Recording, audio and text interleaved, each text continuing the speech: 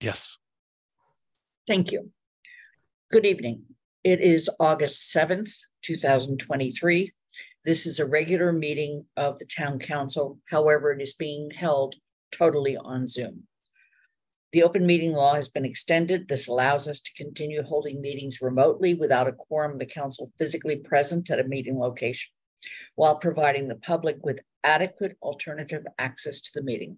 This meeting is accessible in real time by Zoom, by phone, and as a live broadcast on Amherst Media Channel 9 and their live stream. Given that we have a quorum of the council present, I'm calling the August 7, 2023 Town Council meeting to order at 6:31 p.m.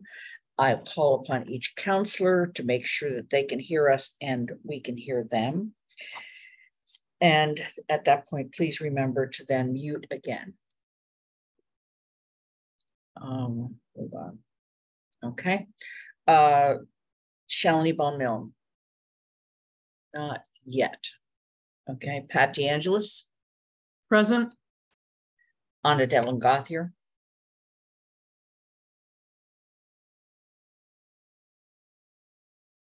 Anna, something's going on with your. Sorry, you- here, Thank I'm present. Got it. Lynn Griesemer is present. Mandi Jo Hanneke? Present. Anika Lopes, Present. Michelle Miller, Present. Dorothy Pam, I'm here. Pam Rooney, I'm here. Kathy Schoen, I'm here. Andy Steinberg, Present. Jennifer Taub, Present. Ellisha Walker. Here. And I do recall in an earlier poll that I don't believe Shalini can be with us. There is no chat room for this meeting. If you have technical issues, please let Paul or me know. To make a comment or ask a question, please use the raised hand function. If tech, technical difficulties arise as a result of utilizing remote participation, we'll decide how to address the situation. Uh, and I'll be monitoring council's counselor connections, and if necessary, we will pause the meeting until you are reconnected. There is no change in the order of the agenda as posted. With all of that said, I want to particularly ask both the audience and counselors for your patience tonight. We are holding this meet, meeting without the of our assistance of our outstanding clerk to the town council. Kelly, who is planning to be with us to take minutes. Paul will be posting the motions within 24 hours. Anna will be managing the slides, and I will manage the meeting, including the timer. So um, that's kind of how it's going to go. Uh, we do, I just want to check uh, whether or not Kelly is in the audience, and she is not. Okay, so we're recording the meeting and that is sufficient. Um, we're going to go to the announcements. Uh, Anna, please put them up. I want to particularly call attention to the fact that we have council meetings coming up on the 21st, September 11th, and actually September 18th as well. Uh, various committee meetings will be held, and prior to this agenda being posted or since this agenda was posted, the Finance Committee has set a meeting date of August 22nd at 3:30. Um, we're done with that. We're going to go to general public comment. And if you have to, would like to make general public comment, please raise your hand now.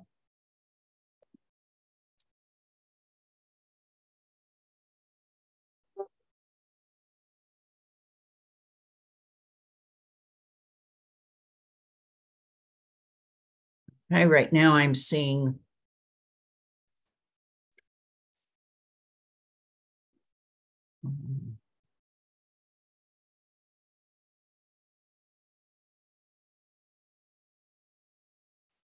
I'm seeing, I'm not seeing any hands at all. Um, There are six folks with their hands up. okay, Anna, I don't know why I'm not seeing them. There we are.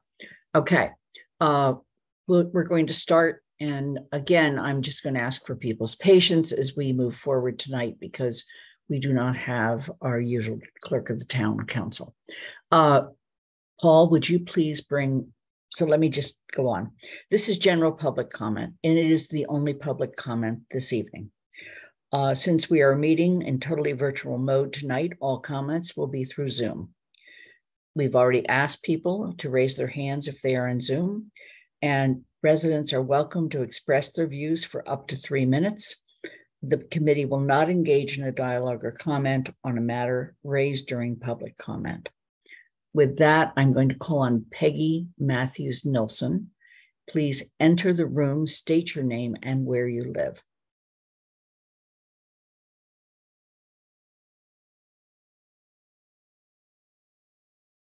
Peggy, you need to unmute. Paul, you may have to ask her to unmute. There we go. Hi. Okay. Hi, we can hear you. Good, good start. Okay. Um, hi, I'm Peggy Matthews Nilsson, District 5, and I'm speaking in support of the dark skies friendly streetlight policy. Light pollution is a devastating is devastating to the natural world. We humans are just one part of the natural world, but are inseparable from it. Light pollution of our skies negatively affects the natural circadian rhythm of all forms of life, from plants to salamanders, to migrating birds, to pollinating insects, to bats and humans. The human health risks of disrupted sleep patterns are well documented. The impact of disrupted patterns on other species is becoming clearer as our environment becomes more and more out of balance. When you consider the impact of light pollution on human health and the well being of other species that humans rely upon, the costs of light pollution far outweigh any benefit to the environment from adding more streetlights in an attempt to induce more people to bike, walk, or take the bus.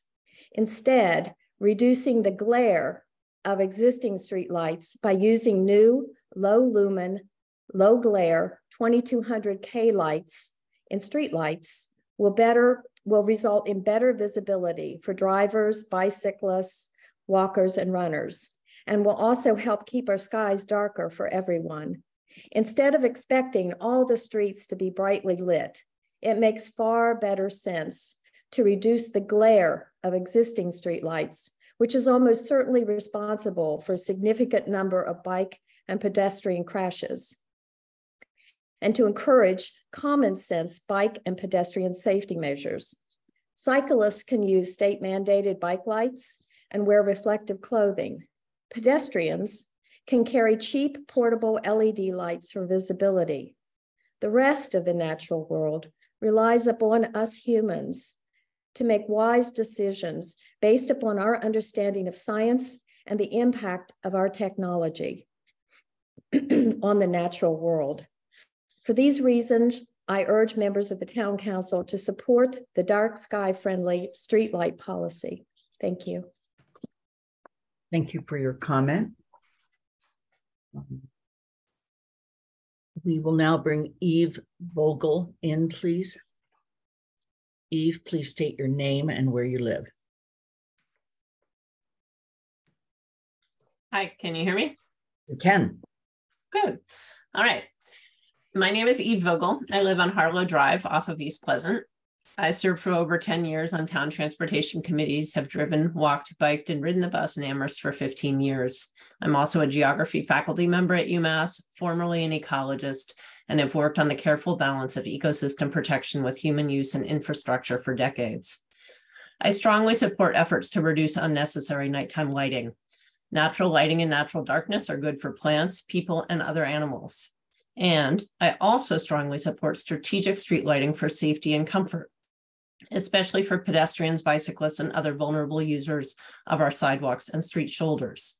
My largest single effort in 15 years in Amherst has been to find ways to promote a transportation mode shift in which more people walk, bike, or use transit for short trips rather than a car, A transportation mode shift reduces resource and energy use, reduces traffic and parking congestion, increases public health, and increases patronage of local businesses. Currently in Massachusetts, the number one contributor to greenhouse gas emissions is transportation. So a transportation mode shift is also crucial for our efforts to combat climate change. I am excited about the streetlights policy proposal because improved streetlights are essential for a transportation mode shift in Amherst. I thank Councilors Hanneke and Devlin Gauthier for putting so much time and attention on a topic that can seem boring, but is important to many purposes. However, unfortunately, the proposal is not ready. It has been improved since June, but it remains one-sided. As currently written, it will worsen nighttime safety in Amherst and obstruct a transportation mode shift. I ask you to postpone the vote and make revisions to get this policy right. To understand the benefits, dangers, and opportunities, let's focus on four streets. First, downtown, Pleasant Street. Shielded lights, warm color, colors, pedestrian scale, and frequently placed lights make for a win-win situation, protection of dark skies and pedestrian safety. This is a place where the current policy will work well. Second, my street, Harlow Drive, not a through street. Traffic is limited and relatively slow. It could be great to shield the lights and warm their color, prioritizing dark sky protections over safety lighting rules. Many people in my neighborhood already do wear lights when they walk around. They are long-term residents. In these two neighborhoods, the current policy as it stands is already positive. Now think about North Pleasant, north of campus. This is a major corridor for students walking to and from UMass after class in the winter to get pizza at night or home from parties at 2 a.m. Shielding lights and making colors warmer without adding additional lamps will mean less of the sidewalk and roadway is lighted. This is already a route that has one of the highest crash rates in the mm. town Eve, we need you to finish up. Thank you. Okay, and it's also the site of a fatality a few years ago because a driver did not see a graduate student crossing the street after he got off the bus. The current policy without revisions will make this street more dangerous. Finally, East Pleasant, no sidewalks north of Olympia Drive. Many people, but not very many, take the bus, walk, and um, bike on this route but more will do it if the lights are not intermittent. They will become more intermittent, less light, and more dangerous if this policy is passed.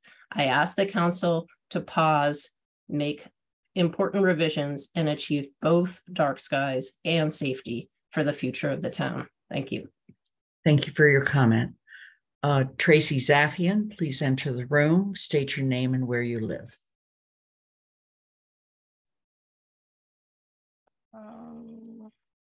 Okay, hi. Hi, I'm in the room now? Okay, great. Okay. Um, okay, um, thank you. My name is Tracy Zafian. I live in District 3, just south of Amity Street. I'm currently the chairperson of the Transportation Advisory Committee, though I'm not speaking here tonight on TAC's behalf. I did send in written comments as well tonight. Um, since the sponsors first presented their proposed policy in August 2022, I've contacted the council numerous times with my concerns about the policy and asked that the policy be revised to better balance the goals of reducing the detrimental impacts of excessive life on human health, which I support, with other goals relating to traffic safety, becoming a more age-friendly community, and encouraging more biking and walking to help meet climate action goals. Um, a lot of work has gone into this policy and into revising it in response to the feedback since it first came before the council almost a year ago. I appreciate those changes and the policy now is safer and better than what was first proposed. However, in my view, the current proposal still has a number of significant issues from a process perspective and a traffic safety perspective. And so I encourage the council to postpone its vote accordingly.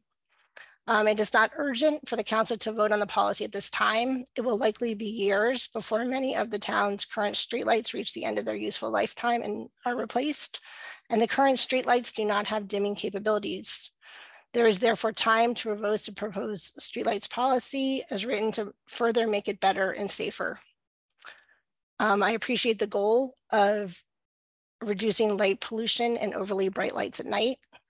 And I'm not a fan of glare either, which is noted can contribute to crashes and to drivers, pedestrians, and bicyclists having trouble seeing at night. But at the same time, um, my focus, both personally and professionally, is on traffic safety and saving lives. And I see that as paramount. And um, there are so many traffic deaths that occur at night, including over 75% of pedestrian fatalities and 50% of traffic fatalities in general. And in looking at the crash data for Amherst from 2010 to 2023, a majority of the serious accident and fatal crashes have occurred at night. So research has clearly shown that good nighttime street lighting can reduce these fatalities and that the lack of good lighting at night can make it harder for drivers to see pedestrians and other road objects and to respond to them in a timely manner by slowing or yielding. So one of the earlier commenters tonight recommended that the town have light that's no um, warmer than 23, um, 2300 Tracy, Kelvin. you Yes. need to finish up. Okay, thank you. Um, so anyway, I just wanted to stress that, I mean, there are things that pedestrians and bicyclists can, as as a commenter said, there are steps that pedestrians and bicyclists can do to improve their own safety, including having lights and having reflective clothing, but not many do that. And it's important that we keep them safe regardless. Um, and I just want to make a final comment that when the Gazette wrote up the policy um, that's on the agenda tonight, it discussed how the policy is designed to increase the lighting on streets with heavy pedestrian and bicycling traffic.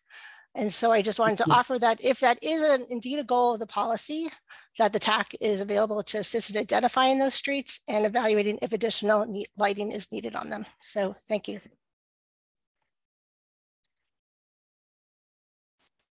One moment, please. Just trying to catch up. Um. Uh, James Lowenthal, please enter the room, state your name and where you live. Hello. Hello. Hi, my name is James Lowenthal. I live in Northampton. I'm professor of astronomy at Smith College, and I'm on the graduate faculty at UMass. I lead the Massachusetts chapter of Dark Sky International, the nonprofit advocacy group based in Tucson, Arizona. I'm involved at the national and international level in the effort to save natural darkness at night from light pollution for the protection of human health and safety, wildlife, heritage and quality of life, and the starry sky. This is a modern day environmental crisis. Light pollution is growing worse by an astounding 10% per year, far outstripping population growth. We urgently need to act to stop the erosion of natural darkness that all life on Earth needs to thrive. You can see this erosion happening everywhere, including in Amherst, where new bright blue glare bombs pop up practically every night on front porches, commercial buildings, streets and parking lots, and schools and other campuses. The proposed lighting policy will help Amherst lead by example and follow national and international best practices in limiting glare, overlighting, and harmful blue light at night on its streets. I also founded the local chapter of MassBike, the statewide bicycle advocacy organization. I'm a lifelong cyclist and pedestrian and advocate for environmentally friendly transportation policy. I use my bike for transportation day and night, summer and winter, including between Northampton and Amherst. I'm very grateful to Eve Vogel, Tracy Zafian, and others for their hard work in supporting bike ped transit. I believe the concerns they've raised, while well-intentioned, are not well-founded.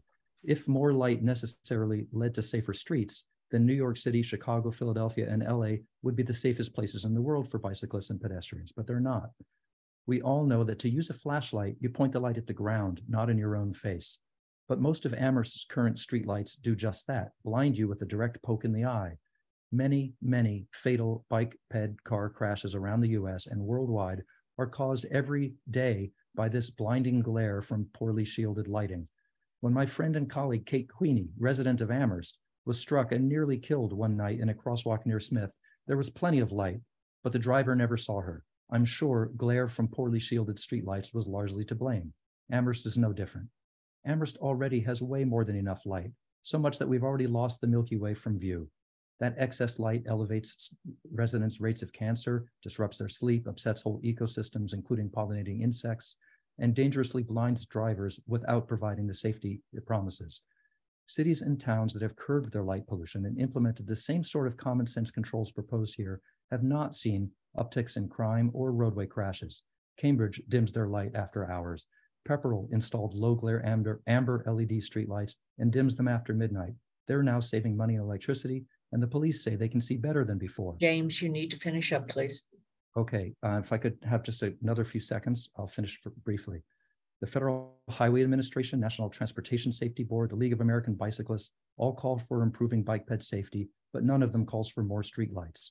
We don't need more light, we need better light. I urge you to support this carefully thought out, common sense proposed lighting policy, which has been vetted by professional lighting experts and is consistent with recommendations from both Dark Sky International and the Illuminating Engineering Society. Thank you. Thank you for your comment. Uh, Rob Kusner, please enter the room, state your name and where you live. Am I in the room? You are. Okay. Good evening. Uh, Rob Kusner. I'm uh, from Van Meter Drive, just around the corner from uh, one of your earlier commenters. Um, the moment I'm actually far away, but uh, I hope to get in a written comment. But let me just briefly summarize uh, since I listened to all the people tonight. I know all of them, and I know them professionally as well as. Uh, are you able to hear, hear me okay? I'm getting a message. Yeah. Okay. Uh, yeah. Um, I'm not a professional astronomer, astronomer, but I am an amateur astronomer. I just returned from uh, Antofagasta, Chile, which is home to the largest ground-based uh, optical telescopes on the planet. And I tried to uh, actually see the dark sky there up in the desert, in the um, Atacama Desert. Unfortunately, I didn't time the trip right. The full moon appeared just as I was hoping to get a view of anything in the sky. I say this only because I'm extremely sympathetic to the idea that we need dark sky. Um, Vince O'Connor, a former town council, excuse me, town meeting member and a recent town council candidate, once summed it up quickly when he introduced the proposal nearly 20 years ago to preserve the dark skies by saying, it's the greatest show on earth. It's been going on for millions, uh, billions of years. And uh, even this coming weekend, we'll have a chance for one of the highlights, the Perseid meteors. I hope I get to see that. 35 years ago, when I came to Amherst, I could see the Milky Way easily from my backyard in the Van Meter Harlow area. That's impossible now. So I'm very sympathetic to the idea of reducing street lighting, especially in the smaller neighborhood streets like the ones that Eve and I and Peggy live on. And I agree with James. James is a professional astronomer. He has to deal with light, and having lights at the low temperature end is very important. Okay, so for spectroscopy in particular. I'm also um, a cyclist, year-round cyclist, all-weather cyclist. I bike on the Nor- Norwottuck Rail Trail with no lights at all other than the ones on my bicycle. I just hope someone in front of me who's coming on a bicycle will also be doing the same thing. We're not going to have lights on the Norwottuck Rail Trail. We're not going to have lights on some of the other paths around town. However, some of the streets, East Pleasant Street, North Pleasant Street, Route 9, otherwise known as College Street and Belchertown Road, they all need much better lighting. My question for all of you counselors, given the somewhat divided views we've heard from people who've served the town, as I have, you know, I was a select board member. I served for many, many years on the transportation Rob, we committee, need you to finish up. and I'm about to finish. I think we should adopt a policy like this, but take into account some of the concerns that have been raised by other people like Eve, Tracy, and I'll even raise them too. We need to plan better where we locate lights and where even to remove lights. And I hope you'll consider that perhaps giving this a little more time. Two weeks, the moon will be new. Maybe it's good to wait until your next meeting to take this up. Thank you for your comments, Rob. Andy Anderson, please enter the room, state your name and where you live.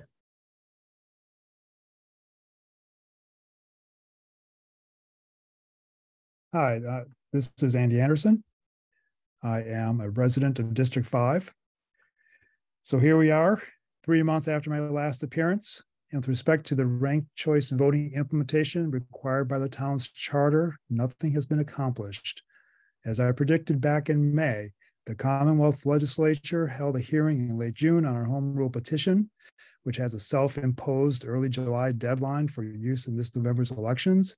And not only did it not get out of committee in time to meet that deadline, it still hasn't surfaced from that committee.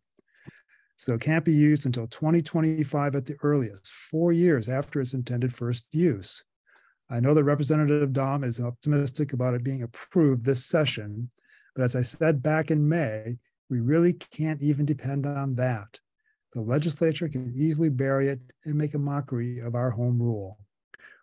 One quarter of a year ago, three score citizens petitioned you all to also approach the Attorney General and ask for clarification on their approval of the charter and its intended implementation of ranked choice voting through a bylaw. Instead of following up on that simple idea, you instead asked the town's attorney to approach the Secretary of the Commonwealth with that question.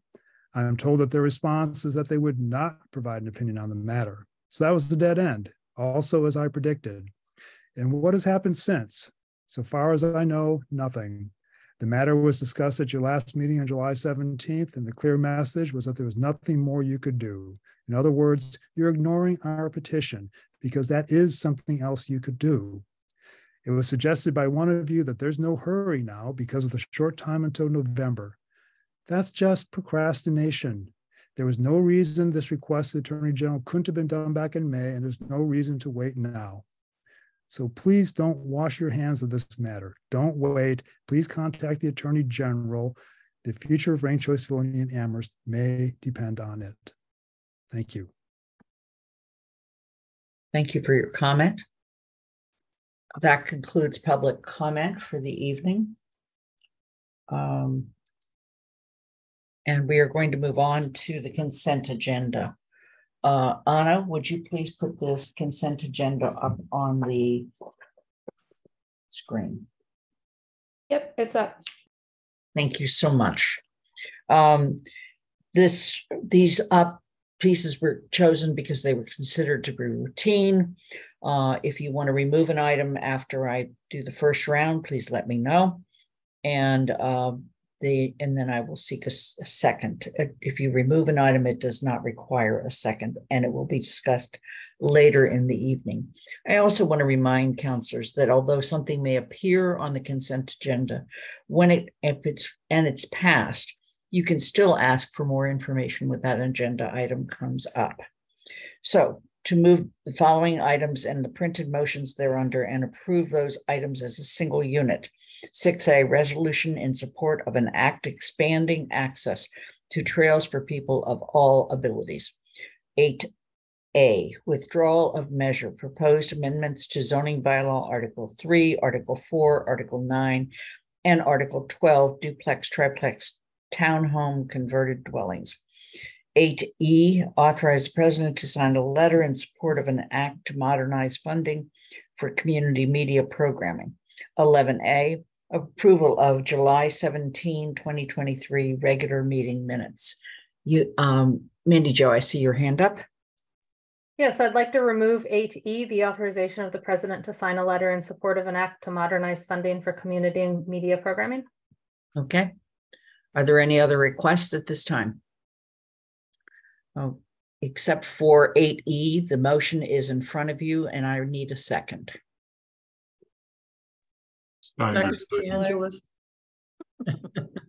I'm gonna take Andy Steinberg on that one. That's fine. Okay. Um, Thank you. And you can take that down. I'm going to now call the vote. Uh, I did hear from Shalini. She'll be joining us later, but she is not here yet. Um, or at least I don't see her. Okay. Uh, Pat DeAngelis, Aye. Anna Devlin Gauthier, Aye. Lynn Griesemer is an aye. Mandi Jo Aye. uh, Anika Lopes, Aye. Michelle Miller, Aye. Dorothy Pam, Yes. Pam Rooney, Yes. Kathy Schoen, Yes. Andy Steinberg, Aye. Jennifer Taub, Yes. Ellisha Walker. Yes. Thank you. Oh, Just give me one moment to just do some items.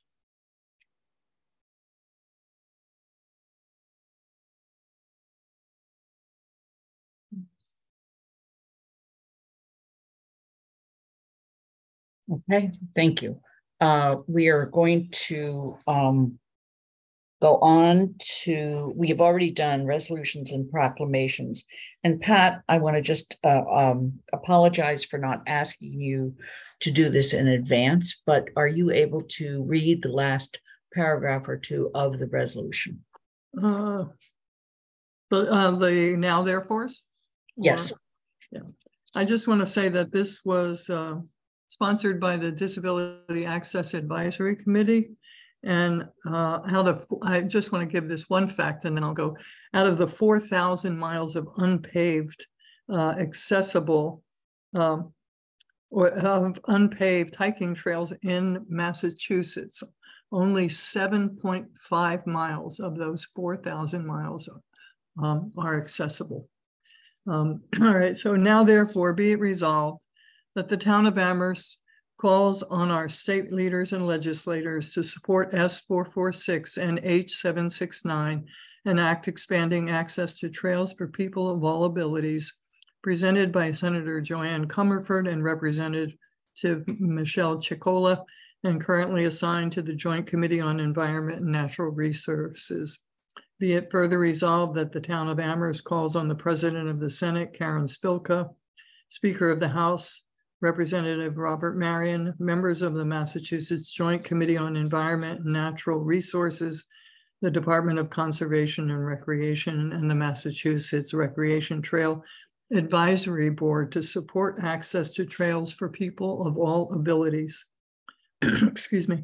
Be it further resolved that the clerk of the Amherst Town Council shall cause a copy of the resolution to be sent to Governor Maura Healey, Senate President Karen Spilka, Speaker of the House of Representatives Robert Marion, State Senator Joanne Comerford, State Representative Mindy Domb, and the members of the Joint Committee on Environment and Natural Resources, Department of Conservation and Recreation Commis- Commissioner Brian Arrigo, and the members of the Massachusetts Recreation Trail Advisory Board. Uh, we need to stop uh, this incredible unequal treatment of residents. Thank you, Pat. Uh, There are no presentations and discussion tonight. We are going to go on to the action items. And under the action items, uh, the first is the withdrawal of measure proposed amendments for the zoning bylaw, Article three, Article four, Article nine, and Article nine- twelve. Duplex, triplex, townhouse, and converted dwellings. Uh, the sponsors have a memo in the packet, and I'd like to ask whether the sponsors at this time would like to speak to the memo. Mandi Jo or Pat?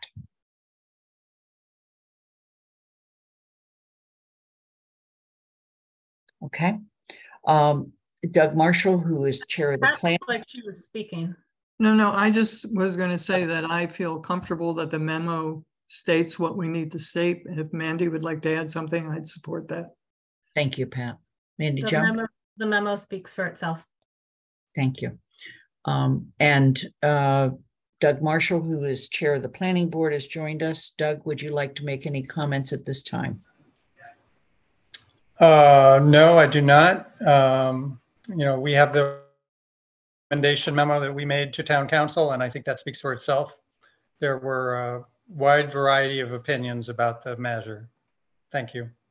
Okay. And I just want to recognize that Chris Brestrup is here with us tonight, uh, but is not going to comment at this point. Are there any comments from councilors at this time on this issue? Pam Rooney. Yeah, I didn't know if you were going to call on any of the reports from any of the other committees that may have heard this discussion and, and, um, and had any votes since you called on the planning, planning board. Uh, were you, were you ready to get a summary of any other, uh, reports? GOL would be the other, uh, I'm sorry, not GOL. Um, CRC, uh, would be the other report, and if you would like to comment, please do.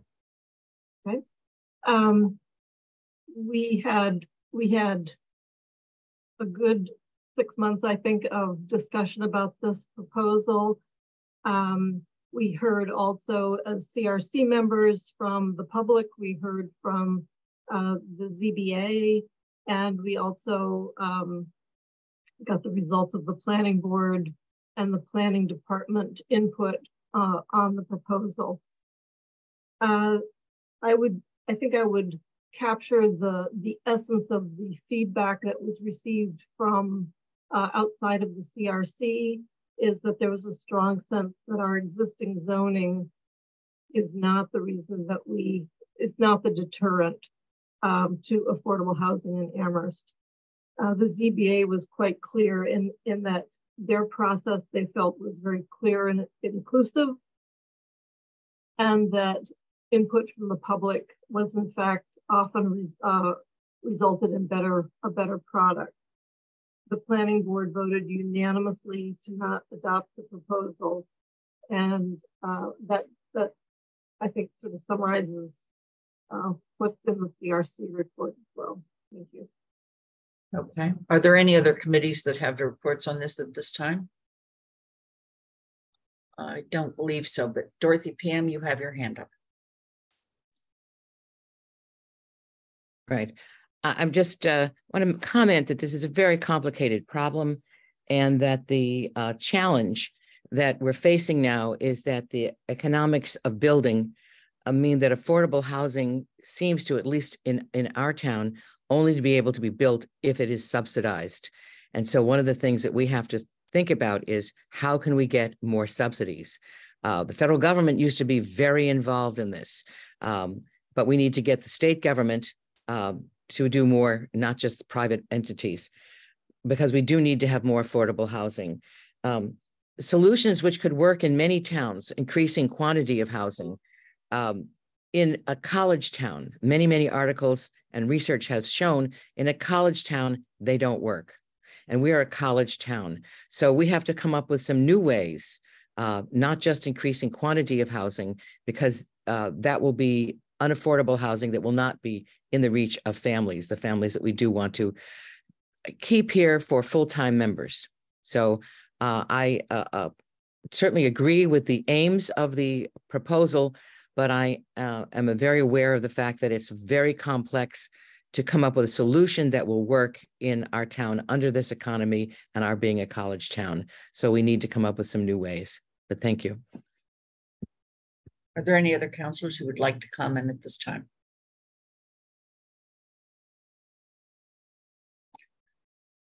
Seeing none, then we're going to move on to the proposed streetlight policy. Uh, I'm going to first ask for a sponsor update from Councilors Hanneke and Devlin Gauthier. And uh, then if TSO or GOL would like to comment, although the version that you see in your packet now has been revised since those committees have reviewed. Okay, so Mandi Jo or uh, Anna? I think Mandi's ready to. Mandi Jo, you have your hand up. Go ahead. Thank you. Um, I want to start with a history of the proposal. Um, this was brought to the council about a year ago and referred to TSO. And if the council remembers, a year ago when we presented this proposal, it had two parts. We titled or re referenced one part as, um, you know, performance specifications and another part as location specifications, where placements would be. We referenced those placement specifications by creating lighting zones, lighting zones that were separated both by how um, pedestrian volume and street use, whether they were residential or collector or, or arterial, um, and also location in town. So within each lighting zone of low, medium, or high light, um, we had separated even farther for things like, were they a residential street that had a lot of pedestrian traffic or not? Were they a collector street or an arterial street? When we got to TSO, the very comments we received on that portion of it, the locational standards portion, were that it needed more thought, time, discussion, and research. regarding which roads were low, medium, and high pedestrian traffic, when we would measure that traffic, what areas should be low light, medium light zones, and high light zones. TAC wanted more discussion. TSO said it needed more outreach. We were asked to remove the locational standards. Now, you may be wondering why I'm talking about this, because we did remove it, and it's not part of this proposal. Yet now, when we look at our proposal and the comments we hear now, many, many of those comments relate exactly to what was removed from this proposal. How much, how many streetlights should be on any one street because of how it is used, the locational standards. Now, Ms. Vogel's proposal may not reference it by lighting zone, but that's basically what it is. And so I just wanted to remind the council that that part was removed for particular reasons and was never thought to be abandoned. We always called it part two, a part that needed more discussion, more research, more thought. And that if we could do the performance standards, we could then move on to the other part. So what we're facing right now is not a change in where the locations are now. We can agree or disagree on what we think the location of a light should be. We have lights in town. Those lights are not safe as you heard some of the commenters. They have over, they are glare heavy. They create a lot of glare, which is unsafe.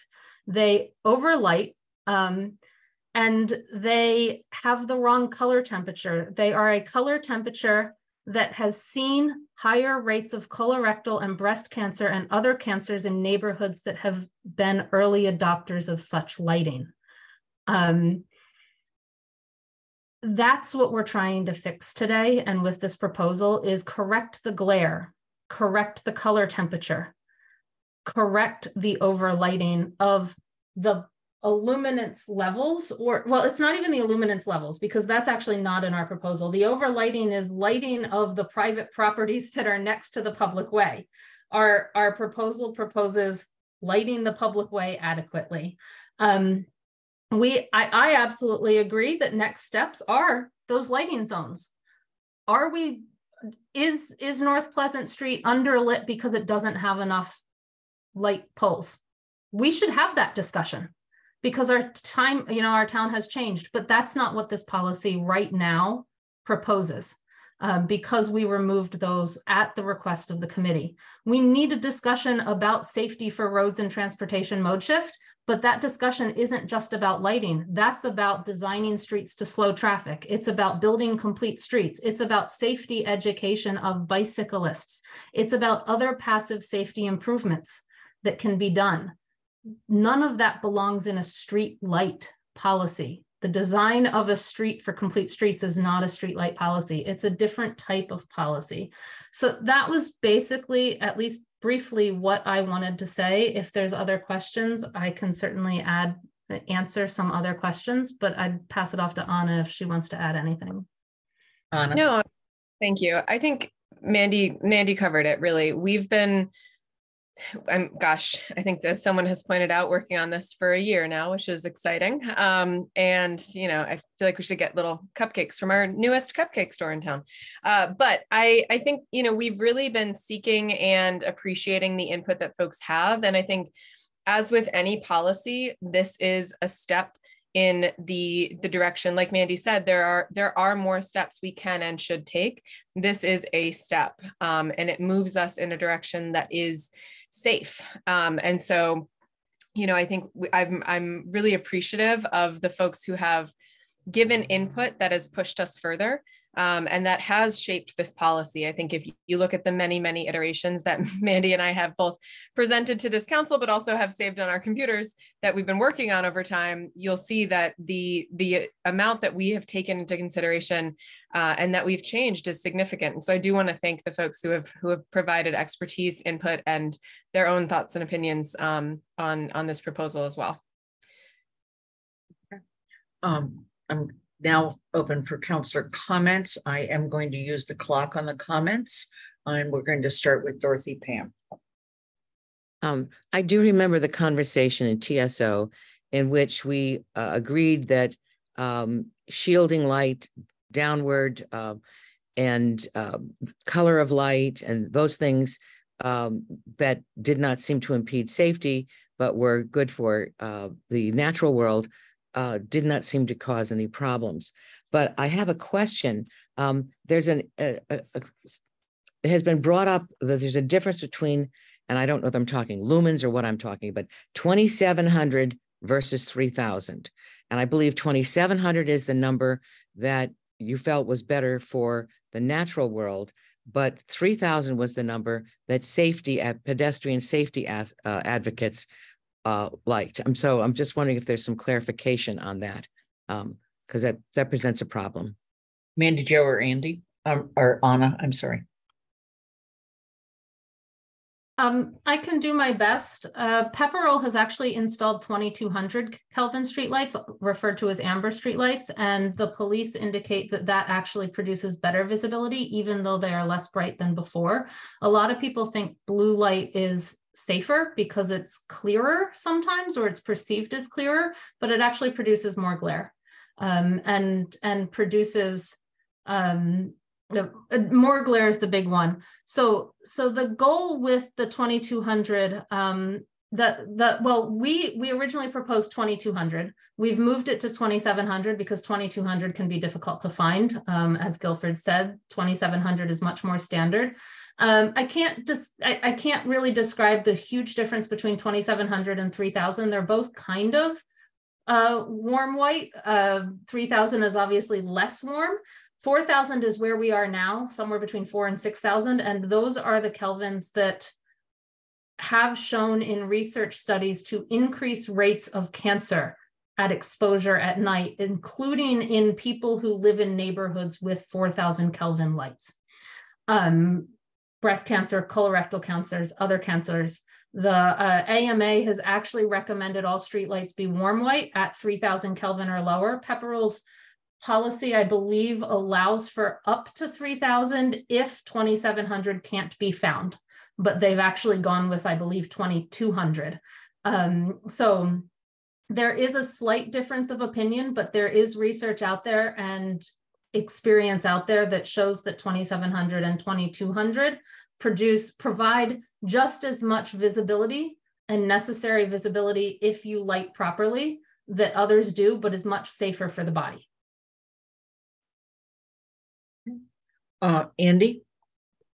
Yes, I'm going to make a motion, and after I make the motion, I will explain it. I'm moving under uh, Council Rule 7.1, subpart 7, to postpone uh, the vote on this uh, motion until September 11 meeting, September 11, 2023 meeting. Okay, a motion's been made. I need a second. Second, DeAngelis. Okay. Andy, could you restate the, the motion again, please? The motion is pursuant to Rule 7.1, Subpart 7 of the Rules of Procedure to postpone the vote on this motion until September 11, 2023. Um, okay, uh, if the motion's been made in a second, would you like to? I'm Could I just make a point of order? I, I, yes. I, more of a point of information. Could Andy give us what Rule seven point one subset seven reads, um, so we don't all have. Seven point one is motions um, when a measure main motion is under debate, the following motions are permitted, and subpart seven is postponed to a certain time. And the reason I'm making the motion uh, is that uh, I told um, the finance committee and asked the finance committee only members only to respond to me because of open meeting law um, concerns with the and with the simple question as to whether members of the committee would like to have the opportunity to um, consider the finan whether there are financial implications to this motion. And um, the uh, uh, res response was um, that there were two people who felt felt very strongly that we should postpone to have that opportunity. for the finance committee to um, uh, make that inquiry. Um, and one member uh, responded saying that uh, he was essentially ambivalent but willing um, to go to to go forward with the vote tonight. So I wanted to report that to you too. Uh, but I felt since there were two members who um, had a strong opinion that I would make the motion. The um, I think that there are um, questions about uh, the um, staff time and um, equipment purchase and capital um, that might be involved and uh, Guilford Mooring, the superintendent of public works, is available for the um, next finance committee meeting on August 22nd. And uh, we will still have the benefit of our current finance director's presence.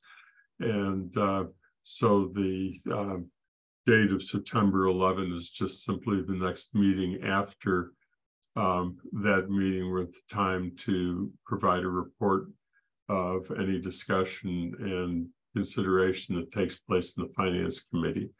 Um, and uh, I, I know that there's at least one other member of the committee who is um, present and uh, in the meeting today with indicating wishing to speak. So I don't know if she wants to speak on that issue or not.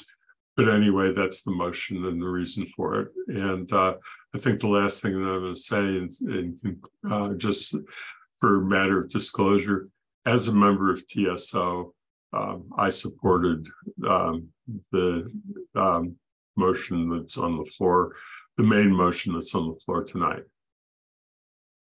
Okay, so the motion's been made and seconded. And uh, I'd like the people who have raised their hands to, uh, if you will, kind of speak to the motion or any other issues that relate to this. Okay, Kathy? Point of order, Lynn. Can we run the clock? Uh, I forgot who yeah. you said. Thank you. I, I, I will do so. Excuse me while I turn my head the other way to do deal with my other computer. Okay, so Kathy? Thank you, Lynn. Um, I reserve the right to come back on. I'm going to speak just to the motion right now. Um, I was similarly going to make a motion to postpone, and I actually had picked a later date than Andy. I was going to push it off till October 2nd. I think we need a financial assessment. I think we also need uh, to look at whether we can get more balanced wording. Um, it's not so much, Mandi, on a, I need you to put every street back in, but I think there are places that it's overly prescriptive and technical to the point of micromanaging. And we need time to assess that rather than being told this study says this or that. I've been clicking as you spoke, and there is even controversy on some of them. So I think the wording could be softer in the technical appendix. I don't have a problem for the most part with the beginning statements. So I think it would give us time to really have a substantive discussion to get more public input and to potentially look at you know what exceptions and how the public would weigh into exceptions so I, I think i'm going to stop there but i wanted a longer period i'm willing to support andy's to september 11th I have prepared about a five page memo and then I've marked up the PDF with questions on wording, some of which would be a GOL, but places where I specifically think we should soften the wording. So I want to speak to that secondly. I'm finished on why I think postponing makes total sense. I might also mention that rule eight point, I so rarely do this, I'm going to have to double look. Eight point something or other, 8.4 Uh, eight, rule 8.4 says whenever there is a policy or a measure proposed that we do not vote on it until we have a thorough discussion on it. So we don't vote it on it till the next meeting. In this case i think we need a financial review so it wouldn't be the next meeting but until the finance committee can meet which as andy has pointed out is august 22nd thank you I just want to clarify, this actually is the council's second reading. There have, have, however, there have been uh, some serious revisions since that first reading. I would say, I would say what before us is so completely different, Lynn, this is the first reading, so I would just argue with that. Um, it- as Mandi said, that they really went back and rewrote. Um, so it's the first time certainly that I've seen it since it was way back in a year ago. Thank you. I have a point of order, Lynn. Yes. So first, Shalini is here. You might want to recognize her. And second, could you clarify for me? I'm sorry for the delay. Is uh, who seconded the motion? Andy, Who? no, sec- I'm sorry. Pat. Pat Pat seconded. seconded. Thank you. motion. Thank you. Thank you, Paul. And again, this is part of everyone being patient with our amateur uh, clerk of the council responsibilities. Um, I'm going to uh, uh, Shalini. I'm, uh, yes, thank you. Shalini, can you hear us? Yes, I can. Welcome. And we will now note that we have all 13 councilors present. I also just want to mention there's about eight people in the Zoom audience. I'm sure there's many others on the T, on watching on TV. Uh, Michelle, please go ahead.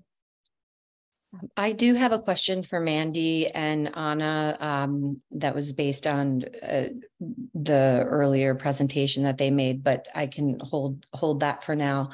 Um, I would like to support Andy's motion. I um, I think that it's it's a good idea to have a, a financial review, um, but I had uh, also um, submitted a motion um, given the substantial revisions that have been made, um, and I, I understand that Rule 8.6 of our rules procedure does not define its expectations regarding a revised measure, um, I do believe a GOL review is appropriate um, before this would be voted on. So I know that GOL did look at it in its earliest version, and I believe declared it uh, clear, consistent, and actionable. Um, but there have been substantial revisions, and I think it would be appropriate for us to have it go back to GOL.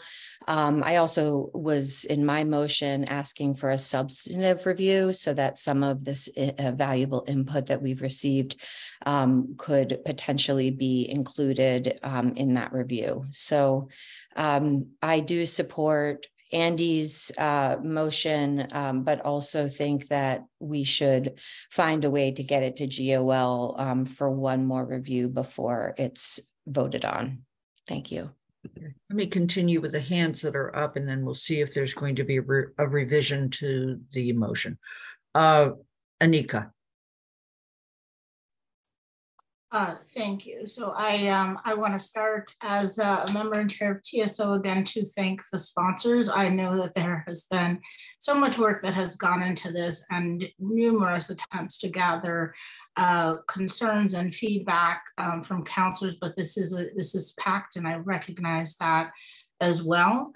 Um, and I also just wanted to you know both both confirm and appreciate the separation of that, that, this is in two parts. Um, as many know from the reports, um, the consensus coming from TSO was in regards to the need to lessen uh, light pollution. Um, and I think everyone was on the same page as that, where the differs were, were um, safety and greatly around um, walkability. And I know sometimes walkability seems to be pieced, you know, there are many um, different elements that are being brought up for safety concerns. But I would just, I think this, this, if with this pause, it does give us a, a chance to really look at walkability in its entirety and holistically. And looking at that, there's no separation between vulnerable populations, between those who use, like myself, depend on public transportation and always have, as opposed to those making choices um, to bike or to walk for leisure purposes. Um, and, you know, whether it's disability, our, you know, our, our senior population for true walkability score, scores, in particularly with in-town lifestyle, they're all included in that whole. So I do appreciate the, um, the, the sponsors for separating the two. Um, and this could give time for people to really digest because it seems like those concerns are coming um, as as pieced as opposed to uh, the whole. um, you know, I I 100% appreciate the night sky and us being able to see it. Um, look, you know, grew up with it, missed it, looked forward to seeing it when I decided to move back home. Um, but one of the, you know, my other major reasons that was a pro for me was, you know, transportation, seeing where we're going.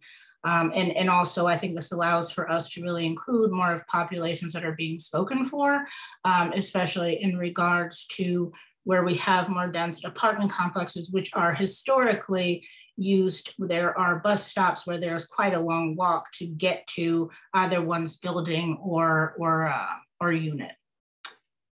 Uh, so those were just my concerns at, and just comments at this point, along with thank you to the sponsors. Thank you. Jennifer? Uh, yes, I um, I was totally um, support delaying a decision till a later date and very much appreciate, you know, think it should go to finance. So I would be, I was, I've always been concerned that if we don't have the budget in place to fully implement the recommendations and we do some and not others, we could be making some streets darker without being able to replace them lights with what um, these sponsors are recommending would would we'd be better served by. So I think we have to know if we can kind of holistically implement um, the policy as proposed. And I don't know that we can do that by September 11th. I, I should say we could probably get the finance committee recommendation, but I wouldn't, I think we need more time to address and allay the concerns that the pedestrian and um, and traffic safety experts in Eve Vogel and Tracy Zafian and perhaps others, I wouldn't be able to support it as long as you know those experts in our community in pedestrian, cyclists, and traffic safety have real concerns. I'm not an expert, so I have to kind of rely on the advice of experts. And I understand that James Lowenthal, as the dark skies expert, is feels comfortable with the policy, but I wouldn't be able to support it until, frankly, Tracy Zafian and Eve Vogel felt comfortable with it. And I do get concerned. Of course, we have to, you know, educate, um, do safety education for cyclists and pedestrians. But I live on a major connector street to the university, and you know, it's new residents in you know students or new residents every year so it's we don't have a lot of time to educate people before I see cyclists who probably don't know or don't heed what they do know. Bicycling um, you know down lincoln avenue sunset avenue amity um, at night without lights on the bikes in dark jackets and it's quite terrifying because as a driver you don't see them until you are very close. And even though these are major these are busy streets, major connector streets to the university, lots of pedestrian traffic um, late at night. The streets are not well lit. And, you know, often students, you know, carry, um, they use the flashlights on their phones, but I would be very concerned about relying on just um, safety education of cyclists and pedestrians. I would want to be comfortable that, again, our traffic and safety experts um, felt comfortable with the proposal before um, voting to adopt it. Thank you. Pam Rooney. Thank you. I would um, also support Kathy's suggestion that it happen at a, at a later date if Andy wanted to restate his motion or, or amend it to October 2nd. I think the a lot of work has gone into it and obviously a lot of work has gone into rewriting portions given feedback, which is a really good thing. Um, but I but I would like to know that there has been an opportunity for TAC, for instance, to actually formally sit and review it with the sponsors. Um, one of the concerns is that um, the revisions have happened after after some of the the more public vetting uh, and input so it needs to have a, a pass through again to confirm that the changes, in fact, are in the right direction and that are appropriate. So I would I would definitely support an October 2 um, reprise for uh, for this. Pat? I also support postponement for many of the reasons that have been stated, but I uh, want to bounce back to Councillor Miller's suggestion that there be a substantive review in GOL. I, I'm not understanding why a committee that deals with clarity, consistency, and actionability is being asked to look at this substantively. Um, so I would like clarification either from the president or um, before that happens. We're getting more and more uh, requests to look at things substantively. And uh, I'm not sure that that's appropriate for the way the charge of the committee is written. Uh, and it might, might make more sense for this to go back uh, to TSO for substantive review of changes.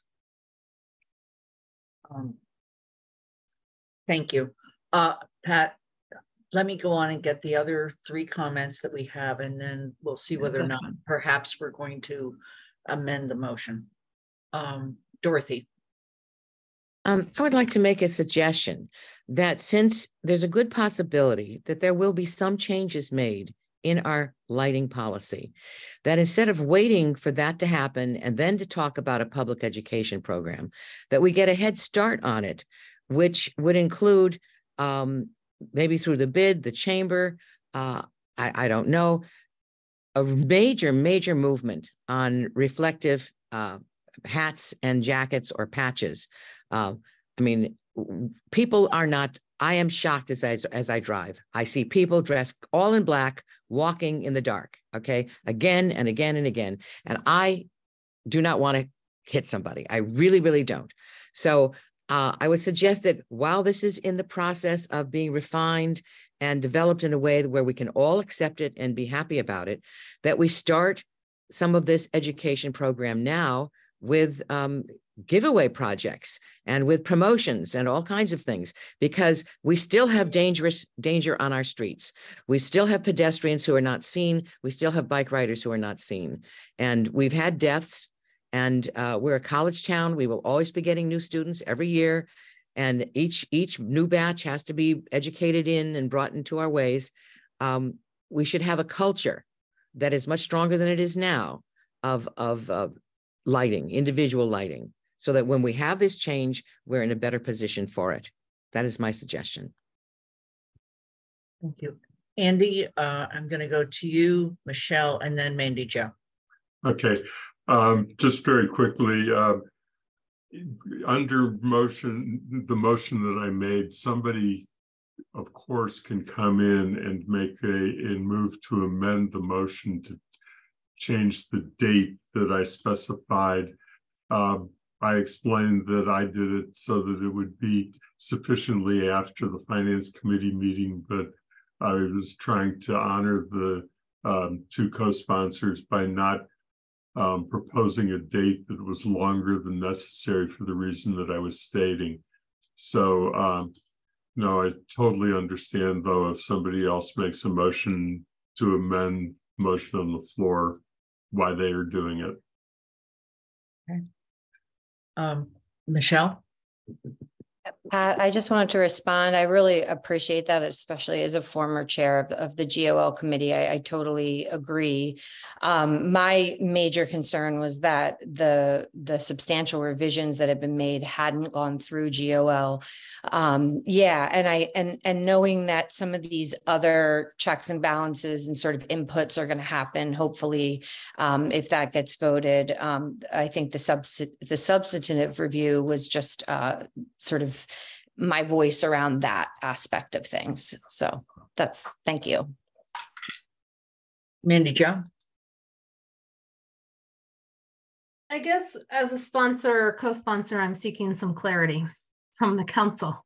We're talking a lot about changes and all, but the changes that appear to be being requested from a number of people, especially when you talk about going back to TAC and getting changes in conformity with uh, Ms. Vogel's and Ms. Zafian's, um, Zafian's um, requests regarding the amount of light on a street and the continuity of light on a street. And I'm just going to give North Pleasant Street as an example, which right now may not have enough street lights, but right now complies with our current policy. which we were told basically not to propose changes to in terms of where lights go. And so I guess the clarification I'm asking for is, is the council now wanting essentially that lighting zone and lighting placement standards that we were, were told to remove so that we could get the specifications and performance standards in? And if so, does it want us to repropose those?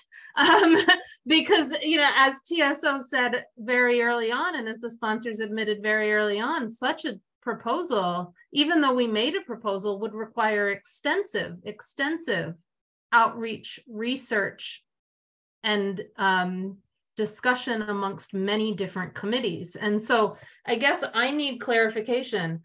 Are is this does this council want that in this policy before we vote? Because if so, a month and even two months is not enough. And it really does need a referral back to committees to do that and to do that outreach. Um, but if there if, if the council's saying no let's tweak around the edges and potentially come back with two motions one motion to adopt the proposal the policy and another motion to create or send a referral back to a committee to do the work for something else that can be done in a month or two so i, I guess as a co-sponsor i'm I need clarity as to what this council wants. Uh, uh Mandi Jo, your question is absolutely appropriate. Uh, and one of the things that I've been observing is that there seems to be a consensus. We haven't voted, but a consensus that needs to go to finance. But then there's this other question about larger issues. And so um, I um, you made one suggestion, and that is that we try to get this present uh, policy to the point that it covers the general policy for street lighting and that there might be a subsequent motion that says please um, start working on lighting districts or whatever you want to call them okay? For lack of a more precise term uh, Kathy? Thanks, Lynn. Um, please start the clock at three minutes. But anyway, um, I, you know, Mandi, you're asking whether there are some tweaks, um, minor changes, and I, I made an effort in the second week of July to send you a markup that tried to identify a few places, but I'll give an example. And this is why I think we need just a little bit longer time, maybe not bring in every safety and street. Um, appendix 2.a, and as I said, the appendix is my concern. It's it, I've never seen this prescriptive a policy appendix before. It's it's micromanaging, um, maybe because you need these, but this is what it says. A maximum illumination level at the public right-of-way line abutting residential or sensitive uses, except in the municipal parking district and village centers, shall not exceed 0.01 foot candle as measured at grade in either the horizontal or vertical planes. I would like to know whether the 13 of us understand what that means, how many people in our residential world. And I think when I looked at the Northampton policy, the 0.01 foot candle varied depending on whether it was Montague Road, that's my road, no sidewalks, 45 mile an hour, and people walk on it, 0.01 because the concern is about trespass, not about illumination. And trespass is a very negative term, you know. So, so like 0.01. So I don't know how many of our current lights don't comply with 0.01 and how many would require, we're not talking about a downward shield just, we're talking about a downward shield and the extent, and Eve's thing drew us diagrams that illustrated the, the light scope. So I think it's these places where it says shall, it doesn't say might want to consider or could they vary. It's, it's places like this that I feel like we have directly said this is what must be done, um, including the lumens, the AMA. 2016 AMA put something out on LED lights. They've since said maybe this and maybe that. These are, you know, what level and where. So I think it's the technical appendix that needs to be reviewed. And there is some wording that GOL could probably clean up where sentences are really complex and have four things in them. Um, so that's why I think it might be longer than September 11th, because if it went to GOL, even for clarity, I'm not sure they could meet and give us a markup that finance could meet and raise any concerns.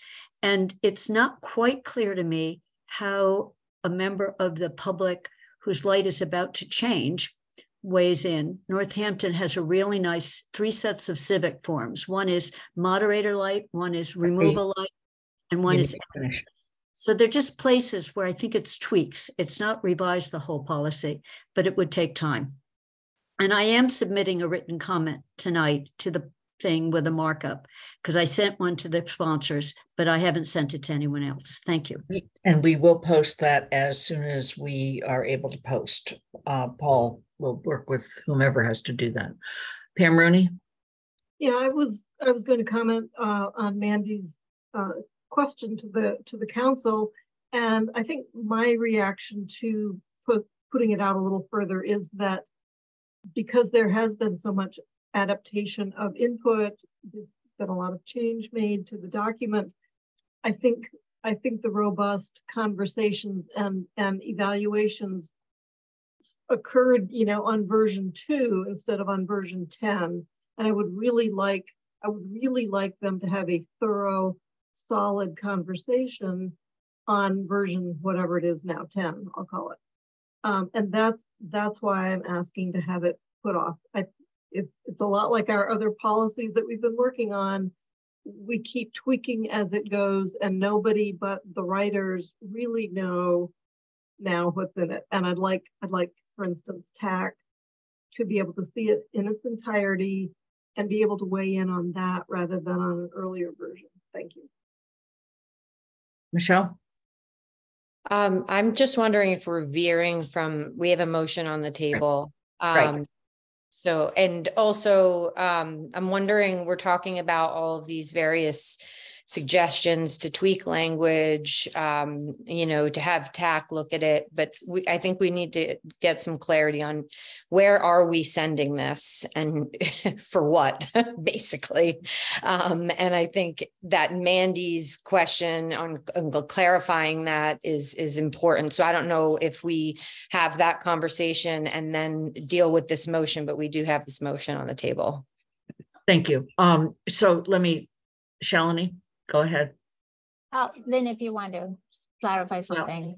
I'm trying to uh, answer, get to and get to a point where we either vote this motion or we amend this motion. And I'm hearing a couple different options. One is that we lengthen the time and we suggest and that the motion include other committee reviews but it also I, I want to be totally respectful of the sponsors and of the many other people who have weighed in and wonder if the sponsors have additional things they would want to work on before we do those reviews. Or, or have you basically said we're done. That's a question to Mandi Jo and Ana. Um it's a good question. I think that maybe maybe there's a little bit Mandi and I, I guess Mandi I, I i'll defer to you but i mean i think we've we've I, I know that everything that people want isn't necessarily in here, but we have truly fine tooth combed this thing. And so I think that, um, Mandi, do you have any strong feelings? I mean, we we obviously believe it's complete and ready for a vote. Yet, if it goes back to committee, it will inevitably face changes and we will probably get together and review again with all of the additional comments. Uh, you know, we just received more comments today with markups and, you know, we, we have looked at them. Kathy we'll look at yours again. We looked at yours the last time, you know, and so I can't say it won't change, you know, because we do take into consideration everything we've heard. It's it's why I asked my question, what would you be looking for from us so that we know? So it seems to me, I'm sorry, Shalini. Was that Yeah, you? yeah, can I weigh in at this point? Sure. Okay, so I'm seeing it's two different, um, in addition to what everyone has said, and thanks to everyone who's worked so hard. Um, I think what I'm seeing is two different things. One is like the financial aspect that definitely needs consideration and agree with that. But I think overall, uh, it's helpful to get the clarification that we're not discussing location and all of that. We're just talking about the lighting specifications. My concern is really about one specific aspect, which is will the new lighting uh, recommendation, especially in certain areas, as we're hearing that the sh additional shielding and the yellow lighting is that going to reduce the safety? And that's my understanding from the articles we're reading, reading is that it's going to reduce the safety in certain neighborhoods, not like other, generally it's going to improve, there's less glare, which is more safety inducing and all of that. But in North Amherst, can the sponsors or the town confirm that with the additional shielding, and the yellowing of the light and the reducing of the Kelvin or whatever, is it going to reduce the safety for pedestrians and bikers?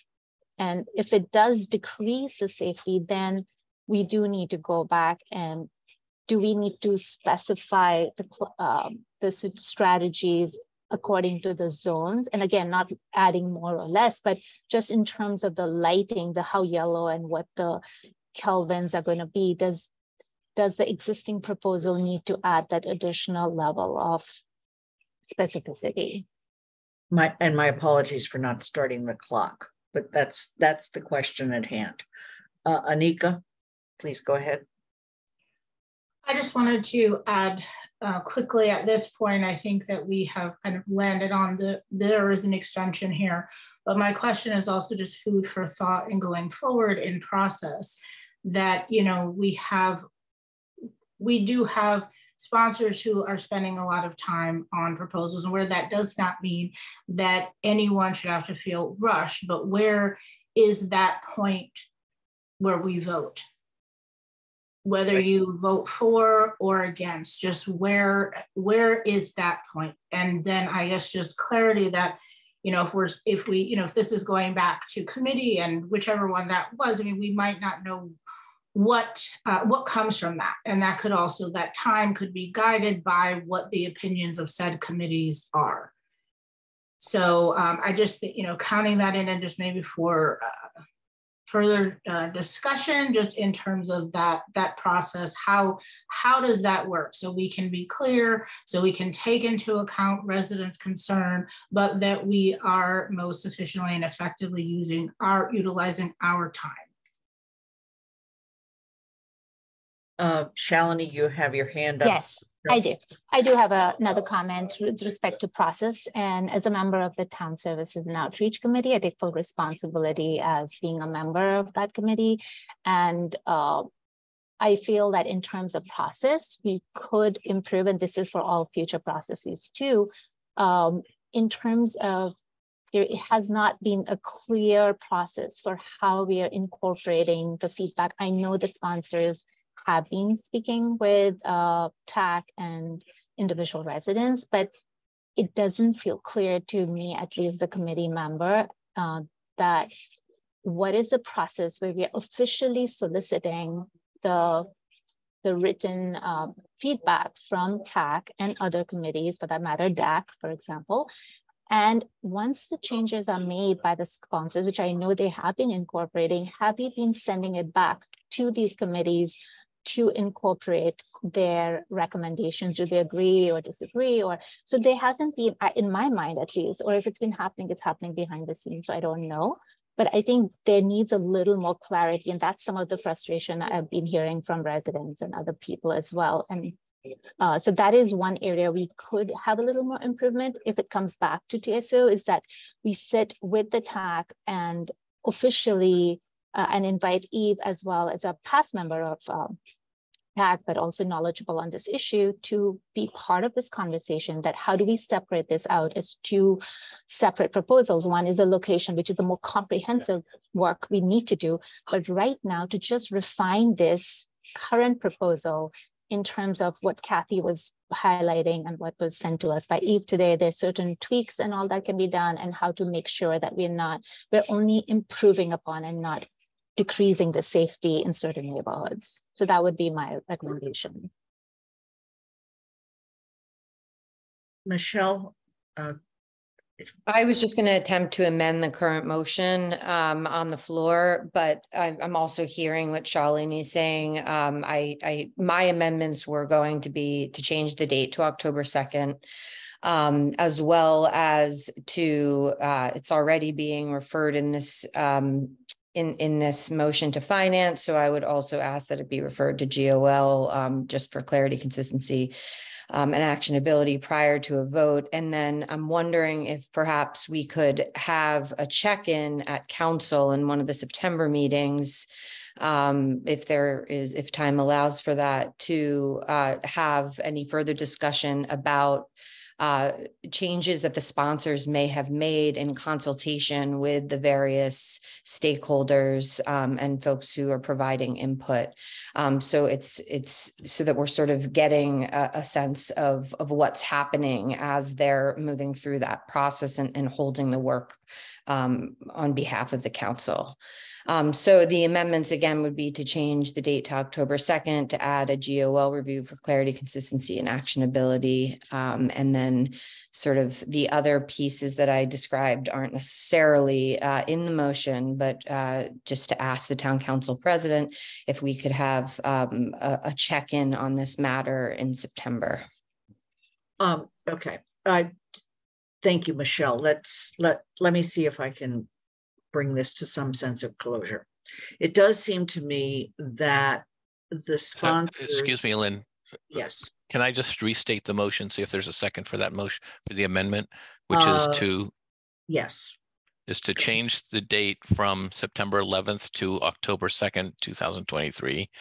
And in addition, to refer it to the GOL committee and the finance committee, right? Th that is correct. Okay. And then second, how in addition to that, okay, is there a second? Jane seconds. Okay. Mandi Jo, you have your hand raised. I was just going to ask who was second. That's thank you. Okay. So in addition to that, however, there may be some additional changes that come out of documents that have been sent to us in the last 48 hours or going to be posted or whatever the case. Um, at the and what I'm hearing from one counselor is the concept that we bring back any further changes and we have a substantive discussion about those kinds of changes at one of our September meetings. We only have two. Uh, we have meeting on September 11th and September 18th. Um, and, you know, we have to do what we have to do. So uh, I'm perfectly open to that if we start having significant substantive changes and they need to be discussed in a more public forum, which they should be, then it actually should go to another committee, and that committee, unfortunately, would be TSO. I don't mean that unfortunately because I don't uh, respect the committee. I'm just saying they've already spent a lot of time on this. So if we come back with substantive review of this in September, I'll try to do it for the 11th, there may be a further referral back to TSO uh, to make sure that input has been done and it's been done in a public way. Okay. So the motion that is now on the floor, Paul, please read it. Uh, to amend the main motion, which is Andy's motion, to change the date from September 11th, 2023 to October 2nd, 2023, and to add that the the um, the measure would be sent to GOL and Finance Committee. So we can do this in one of two ways, um, I believe, unless somebody wants to correct me. We can ask the original person who made the motion whether they will accept these as friendly amendments. Paul, can't do that. I, no, you actually have a motion on the floor right now. Okay. You have to act right. on it. So we will act on the motion to amend. The motion to amend extends the date and adds GOL to the review process. Are there any questions? Shalini. Just a clarification, would the GOL then uh, deliberation include bringing in the other stakeholders? No. Uh, comments? No. That's not the role of GO. Right, that would be substantive. And um, so I I would like to see that happen. So does that mean we we vote on this because this needs to happen also, but then should we have a separate motion to bring it to TSO for that? If there's going to be a public discussion with individuals and or other committees, then it needs to be referred Mhm. to a committee and not GOL. And that committee would be Right. TSO. Right. So should I make that motion then separate to this one, or will this be amended further? Um, So in this situation, you could make a mo, you can amend the amendment, Mm-hmm. or you can ask if it's a friendly amendment, if the maker of the motion would accept the, to add, in addition, Mm-hmm. GOL and Finance Committee, you would ask, I think you're saying to add TSO to that list. Right. Yes, please. Can, Andy, would you consider the thing? That would be, that would be Michelle's motion. Oh, sorry. Shane's. Okay, Michelle. yeah, Michelle. Um, Shalini, I really, I do, I appreciate um the intention behind the request. I, I, I, no. No, I- okay, that's fine. I can do it as a separate motion then. All right, thank you. Okay, so we have the original motion, we have an amendment to the original motion. And so we can vote on the amendment and then come back to see whether it's going to be amended yet again, okay? Correct, Correct. The original amend- amendment to the motion is that it would be reviewed by both GOL and Finance, and the date would be extended to October 2nd. Okay, that is the amendment to the original motion. Are there any further questions? Seeing none, I'm going to start with Shalini Bahl-Milne, Yes, Pat DeAngelis, Aye. Ana Devlin Gauthier, Aye. Lynn Griesemer's an aye, Mandi Jo Hanneke, Aye. Anika Lopes, Aye. Michelle Miller, Aye. Dorothy Pam, Yes. Pam Rooney, Yes. Kathy Schoen, Yes. Andy Steinberg, Yes. Jennifer Taub, Yes. Ellisha Walker. Yes. Okay. So that was the vote on the amendment to the main motion. We're now back to the main motion. Unless somebody wants to make an additional amendment. Shalini, so is this where I make the amendment to please send it back to TSO to incorporate the, or incorporate or do um, in, incorporate and consult with TAC and other state and in- incorporate other resident. Ah, how do I say that? so what you want to do is you want to amend the motion so that it goes to TSO Uh-huh, and it, for them to consult with individuals and TAC. TAC and TAC, yes. Okay, are you extending the date? Um, mm, not further than the October one that's already been. October second, okay. Anika? Is, it, uh, I'm sorry, is there a second? Second. Second, Rooney. Second. Yeah. Okay, uh, Pam Rooney was the second. Anika, you have your hand up? Or Shalini, before I, before I go to Anika, Shalini, did you want to speak any further to the motion or basically you've already said what you needed to say? Um, I think I've already said, um, yeah, I think I've said, and if I hear that people have questions, I'm happy to elaborate more. Anika? Yes, I just have a question for uh, clarity. So, and this is uh, for both Shalini and Lynn. So, um, I thought that I was an act, and that I understood that that um, Michelle had asked for us a review that we would have prior to having any GOL recommendation. And there would be a chance there that this would be recommended back to TSO. So with this, we would have both TSO looking again and GOL. So we would have both committees having a review, going again, and the and the sponsors working with both committees at the same time.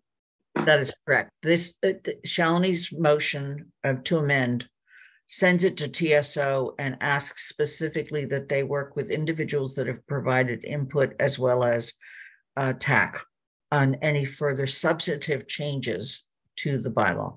I mean, to the uh, policy. So it does do that.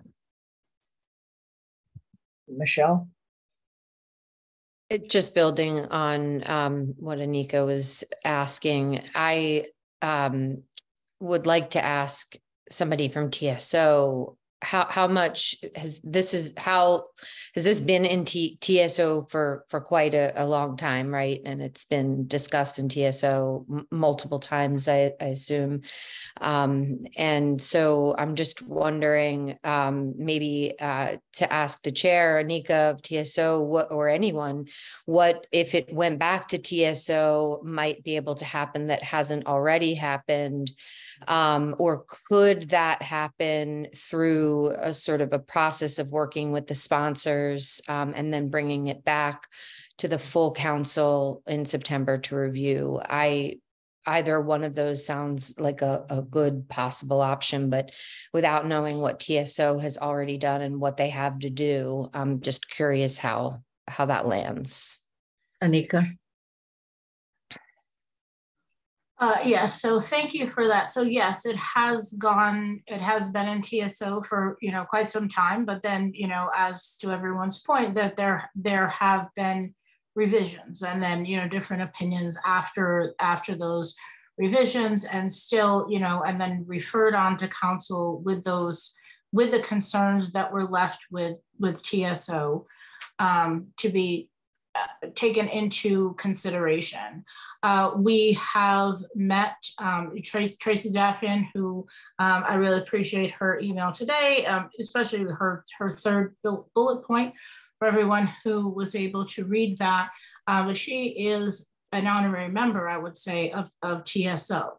Uh, so she's, she's with us all the time, who we uh, have who we have not engaged with directly through TSO, um, as Dorothy's point, has been maybe the bid or um, the community outside of just the few who are mentioned, like those who actually do rely on, on uh, public transportation outside of leisure or who make the choice to.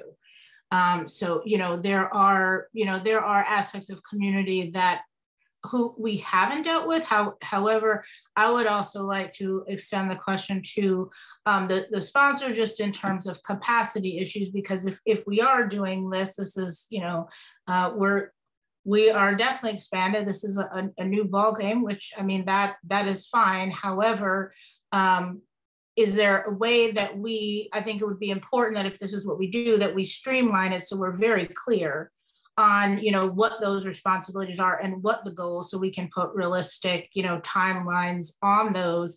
And so we're not handing over um, 100 recommendations onto the sponsors who are you know trying to I, I think balance this as best that they can.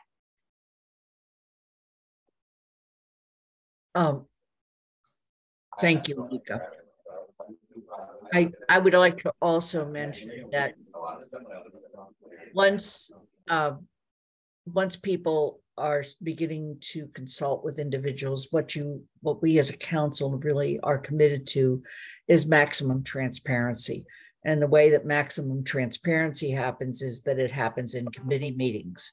So uh, I'm actually um, feel that if we're if there is going to be a substantive conversation with uh, TAC again or TAC as a body and or a substantive conversation in which others who have weighed in or might still want to weigh in then it should happen in a committee and the appropriate committee in this case would be tso because it's, it's certainly not GOL and it's certainly not finance.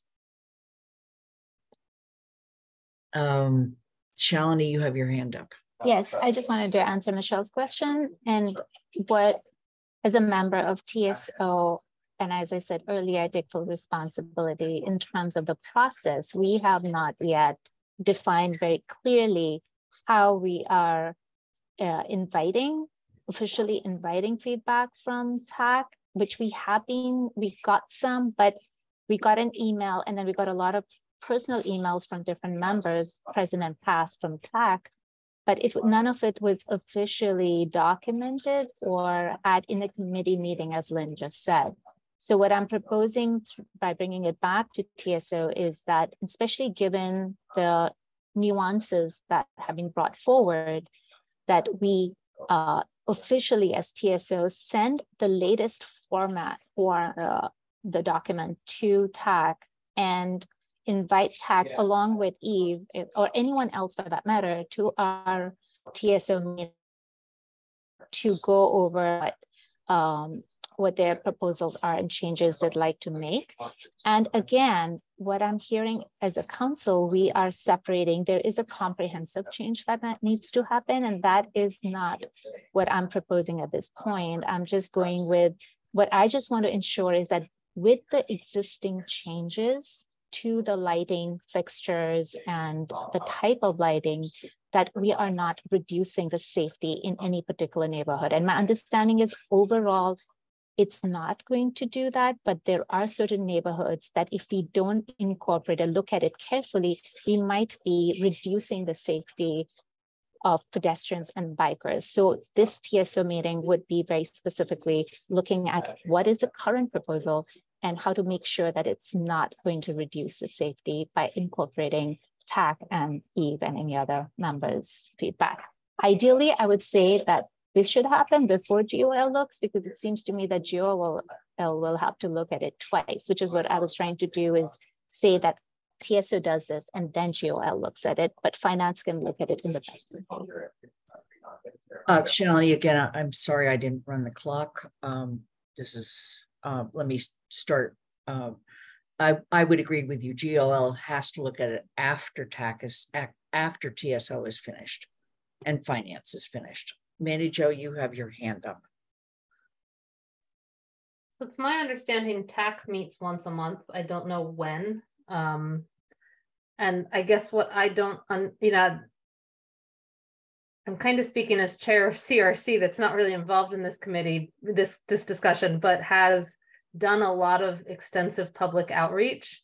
Um, we we have done the specific comments from people and incorporating them and their views into meetings by having public listening sessions. And I guess I don't know if that's what's being requested here or whether, um, you know, with with specific things like that, with listening sessions, or whether what's being requested is that TSO hold a meeting and then specifically invite just certain members of the public to essentially be panelists at that meeting, but not other members of the public. Um, or just, is it a joint meeting with TAC? Because that might take even longer to schedule. I'm worried about timeline here um, and, and the complicatedness of it because it sounds like it's getting more and more complicated what's being requested by this amendment um, in terms of timing not that it's not valuable, but it, it I don't know whether it can all be completed by October 2nd if it really is joint meetings or public listening sessions with the outreach that goes along with that and the planning that goes along with that, or whether it's not that and something else that I'm just not quite understanding at this time. Mandi Jo, one of the reasons I asked um, about the deadline is because I totally feel that uh, October 2nd is more than ambitious, in fact, impossible. And what you've just described, it, which is something you have done a lot of in CRC, um, and is described in our rules of procedure various options for having meetings in which there's panelists and joint meetings and people who speak. So if this goes back to TSO, I would encourage TSO to look at some of those uh, public options for input. Uh, and um, and that could include, you know, a joint meeting with TAC, but then also having a dialogue with the public. I mean, any number of options could happen. Uh, let me just go back. There is a motion to amend the motion that's on the table. The motion that is on the table now includes CRC. I mean, so, I'm sorry, geez, let me start. It includes a review by finance and a review by GOL. And it has it all happening by October 2nd. And whether the person who made the motion to add TSO to this has certain goals in mind, you can't just narrow what people are going to come and talk about, whether it's safety or not. Um, so my question now goes back to, is October 2nd realistic?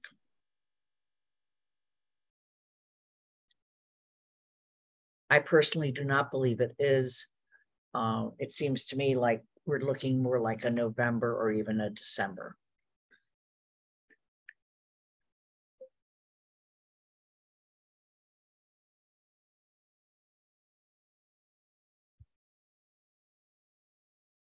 Michelle? I, I, oh, uh, Ana, actually, um. Please go ahead, Ana. Yeah. I mean, I was just gonna say, I'd rather not have to come back and ask for an extension or feel rushed. So I think that if that's, um, if that's what we need in toward, in terms of that, I also know, you know, I, I know we haven't figured out the, the full TSO calendar, but I think that there's gonna need to be timing in advance if we are gonna do some sort of public listening session. Um, so I'm not, yeah, I, I think October 2nd may be ambitious, even though it feels far in the future. So your options for November are November 6th, which I think we may need to look at, relook at anyway because of the election, uh, and November 20th. Um, if you said we need to look at the, relook at the 6th, it would be safer to put it on the 20th, but uh, either of those would be fine, I think. Okay, let's I'm going to suggest the 20th as a way of moving us on. Um, Michelle? I, I just, you know, I was, I'm thinking about this um, similarly to the rental registration bylaw, which came through a, a set of four, spon- four sponsors um, and was referred to CRC. And at that point, when it was referred to CRC, three of those sponsors were also members of CRC, so that worked out. I I was not, um, but at that point, CRC became the keeper of that body of work. It was no longer about the sponsors necessarily. And I think that's a little bit where, and maybe this is a bigger discussion around process, where we're sort of trying to figure out how much of this gets held by on behalf of the council by the sponsors um, and how much of it should just go to the committee it gets referred to and be held by that committee um, in terms of engaging with the community and setting up hearings and and all of the things that I know happened in CRC with the rental registration. So I'm not sure how relevant it is, but just to say that I think uh, there's some process piece here that might be um, just making this a little bit more challenging for us to figure out. I, let me just let me be very clear. The reason I would put it in a committee and therefore TSO is in fact to create maximum transparency. When you have maximum transparency, you hold committee meetings, you can have dialogues, you can do any number of other things, but it's in the public. And that's something I think we all subscribe to. Uh, Anika? I just have a question for clarity. I didn't hear the date. I'm, I'm looking at the TSO schedule. And uh, so could you just repeat the date that was suggested? Was that November 20th? November. Sorry? November 20th. 20th. Shalini? Yeah, I'm wondering if we could do the TSO and TAC meeting along with public input on the September um, I think it's September 7th is our TSO meeting. And we can, I think that gives everyone enough time to publicize it and um, get TAC members or representatives of the TAC members to come to the TSO meeting. I, Shalini, I'm going to suggest we not try to solve that in the meeting tonight. Okay, fair. Okay. Okay. I was just trying to say that just, okay, I was just gonna say that because I think if we do it, let's say, assume if we do it in September, then couldn't we get it done by October timeline? No? Okay. Perhaps. All And right, I'm not. Always get it okay. done earlier, but I, I'm not going to try to sit here and schedule meeting, schedule committee meetings and what's going on, which agendas.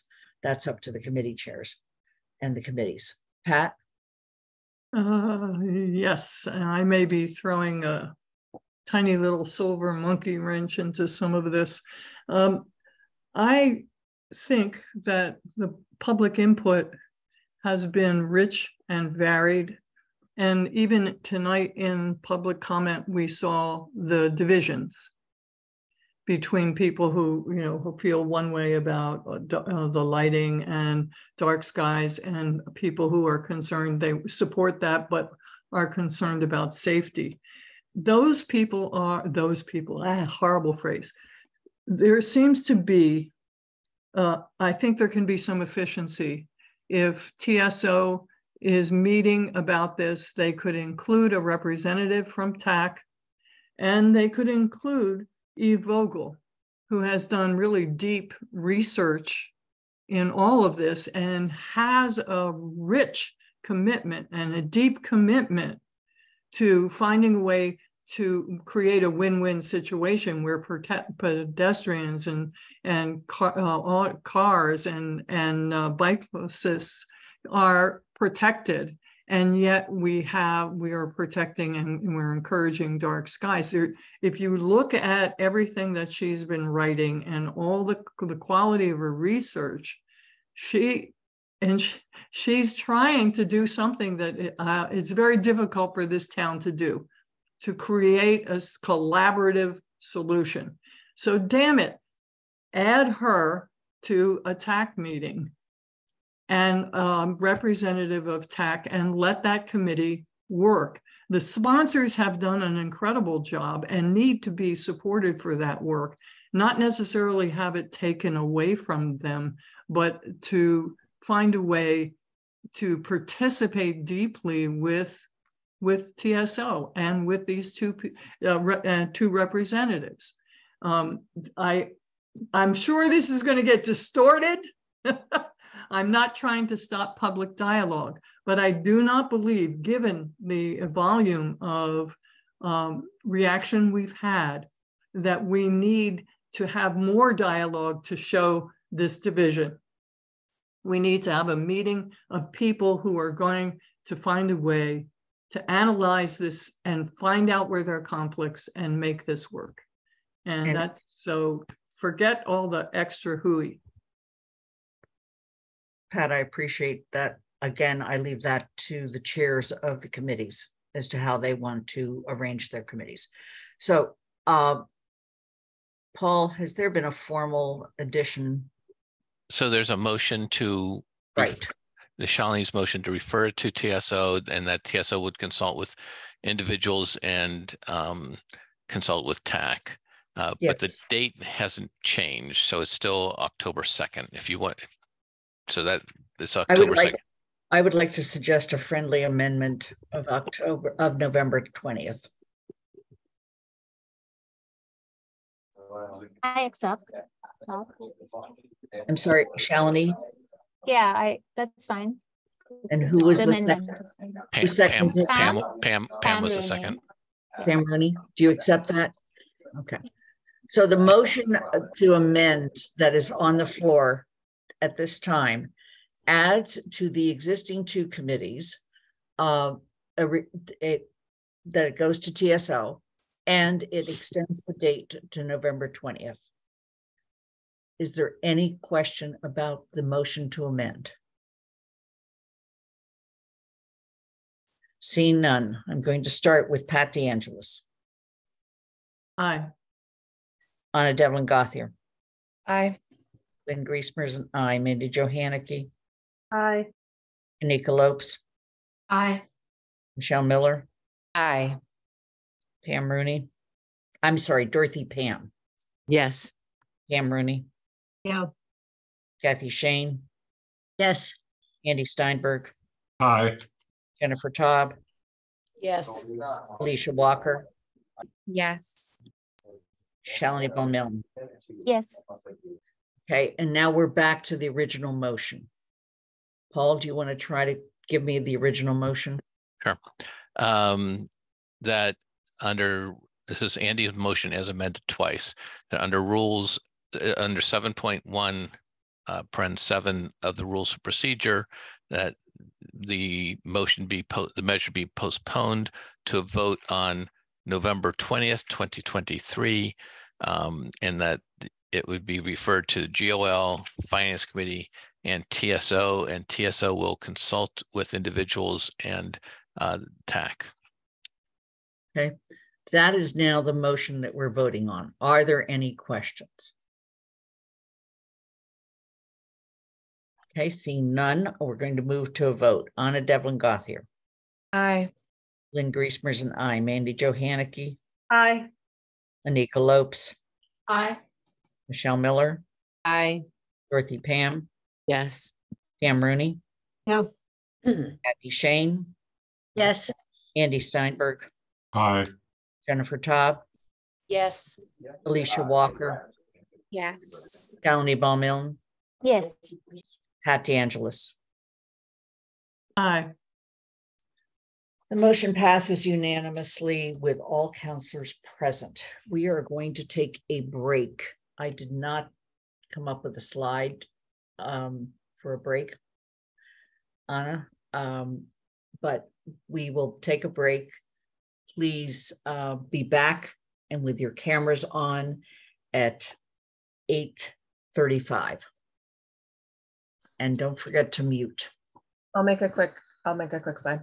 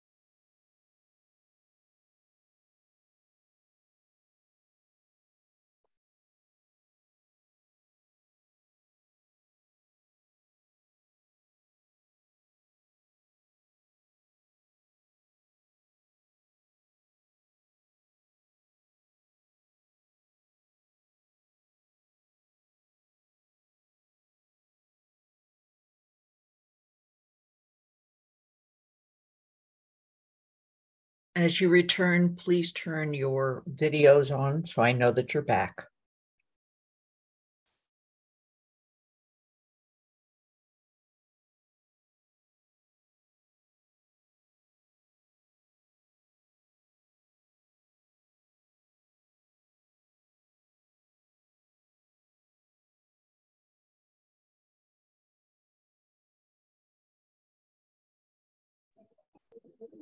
Lynn, I'm here.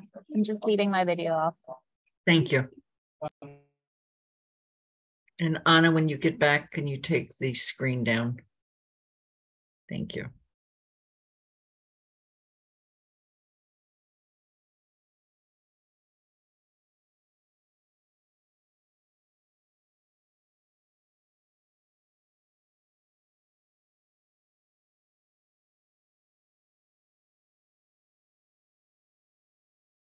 You're back. Please turn your video on so I know that you're back.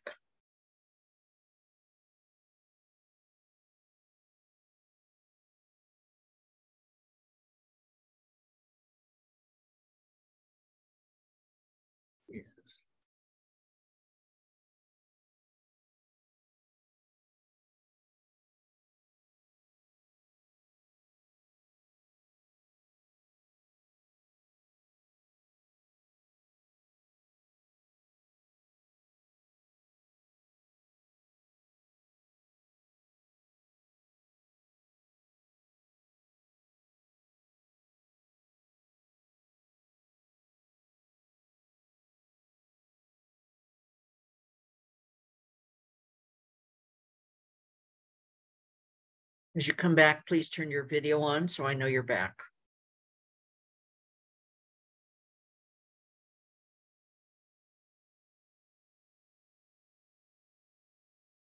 Jennifer, I just saw you. Kathy, Ellisha, are you back? Yes, I'm here. Okay. So Kathy, are you back?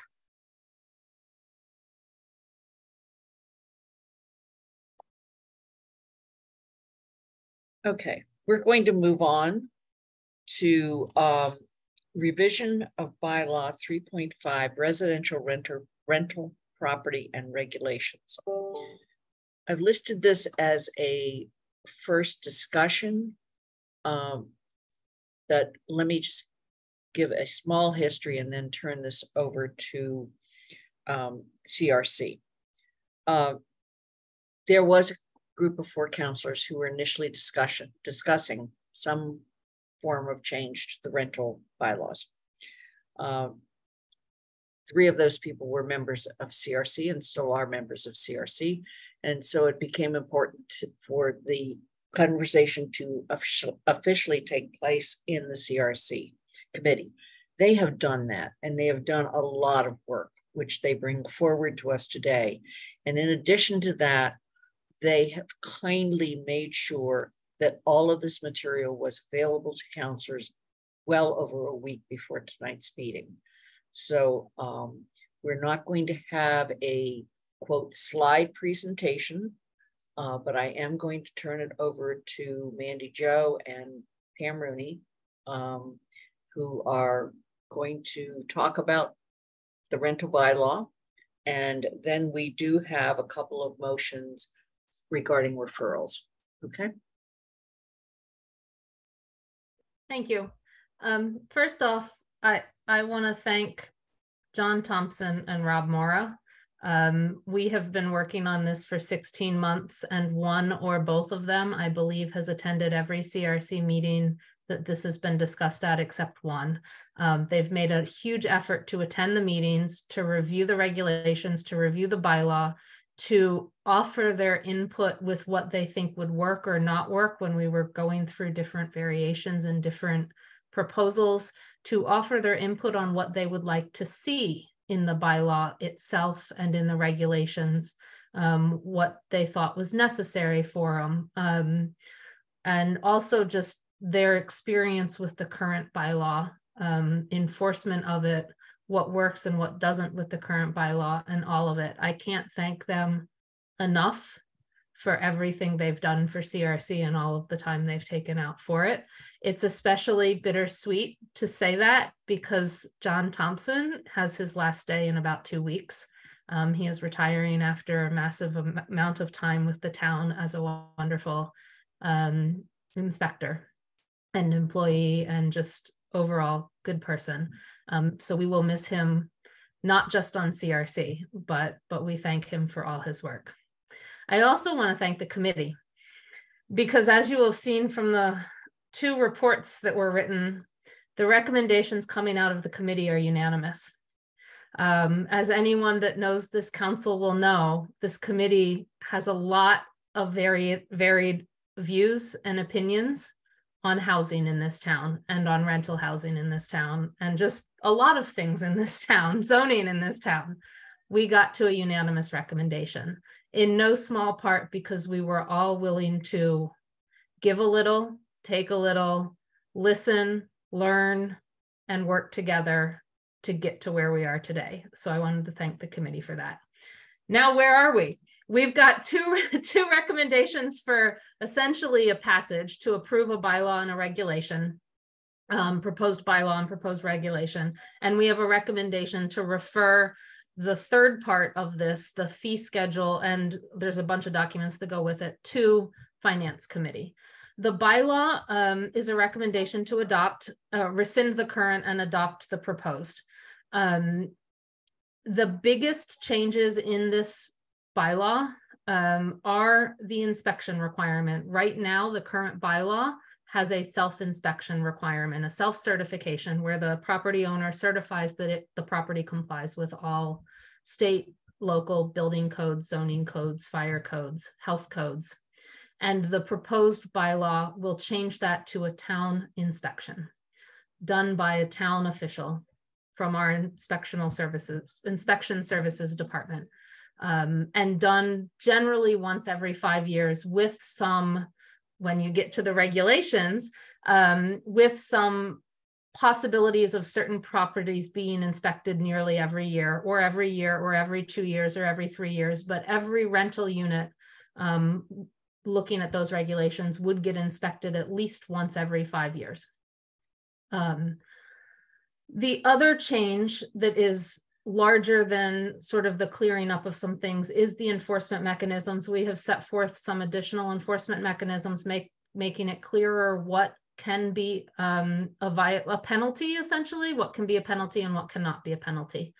Um, a couple of things to point out that we've written who this applies to very carefully. It was one of the biggest conversations and some of the longest conversations we had was what rentals should this apply to and how do we get the wording right?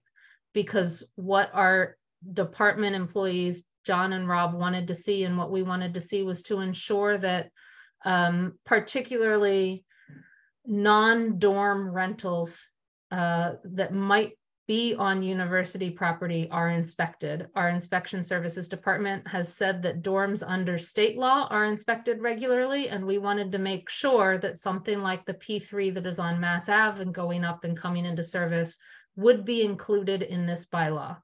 And as of now, and as of what we understand the ownership and lease situation at that location is, that building would be subject to the bylaw as well as many other as well as all other rentals in town.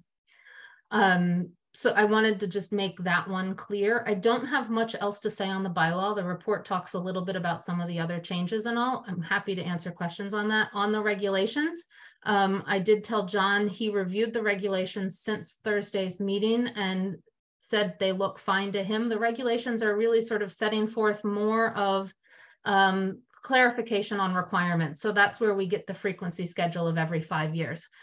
We've put some of that in the regulations because regulations are easier to tweak if something is deemed needing to be worked on or needing to be changed. It can be done a little quicker with a little more flexibility than if it's in a bylaw. And so if we decide that, or if the town decides that five years might be too infrequent, it can be changed to a three-year inspection requirement through the regulations. If we decide we really need to have the rental property owners being asked a question on how many um, plumbing hookups they have in their unit, we can add that to a rental application quite quickly. Um, uh, if it's in a regulation versus if it's in a bylaw. Um, and you know, and the appeals, this how an appeals works is the same way. So that's basically what the regulations are.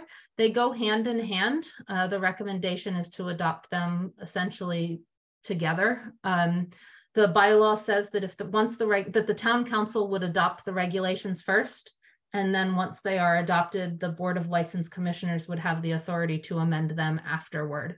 That is done and proposed because of a conversation and guidance of this council months ago that you may or may not remember about regulations and fees.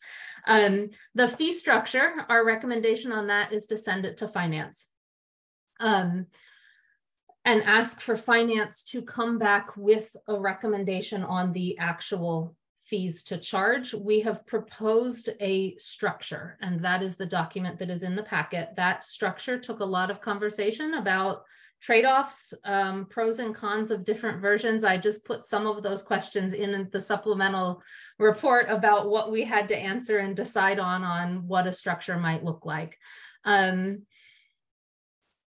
our why we're recommending sending it to finance is because through that conversation when we started talking about fees we were being guided by guidance that we received from the council to propose a structure that would be cost neutral to the town meaning that all fees uh, that that the fees received and the fee revenue would cover 100% of the costs of this bylaw enforcement and um, uh, implementation in looking at the fee structures, as you will see in the Excel spreadsheet, that's a PDF, but it's from an Excel spreadsheet. When you look at options, the estimated cost of the program is about $450,000 to run the program, which will require three new inspectors estimated by Rob Morra. Um, to get to that number, right now we bring in about 150,000 we could, as CRC, get to a point where we thought we had a decent and a, a logical application fee structure and numbers. That is option one in the charts. But when we looked at inspections, you'll notice that there's a couple options and none of them really get up to $300,000 or one of them might get close and that's with like $400 per inspection in fees. And we realized as CRC that our charge is not to discuss that guidance and maybe recommend a different guidance. But we were struggling with all of the recommendations we got from the public, all of the input we got from the public, and the guidance received from the council on making it neutral.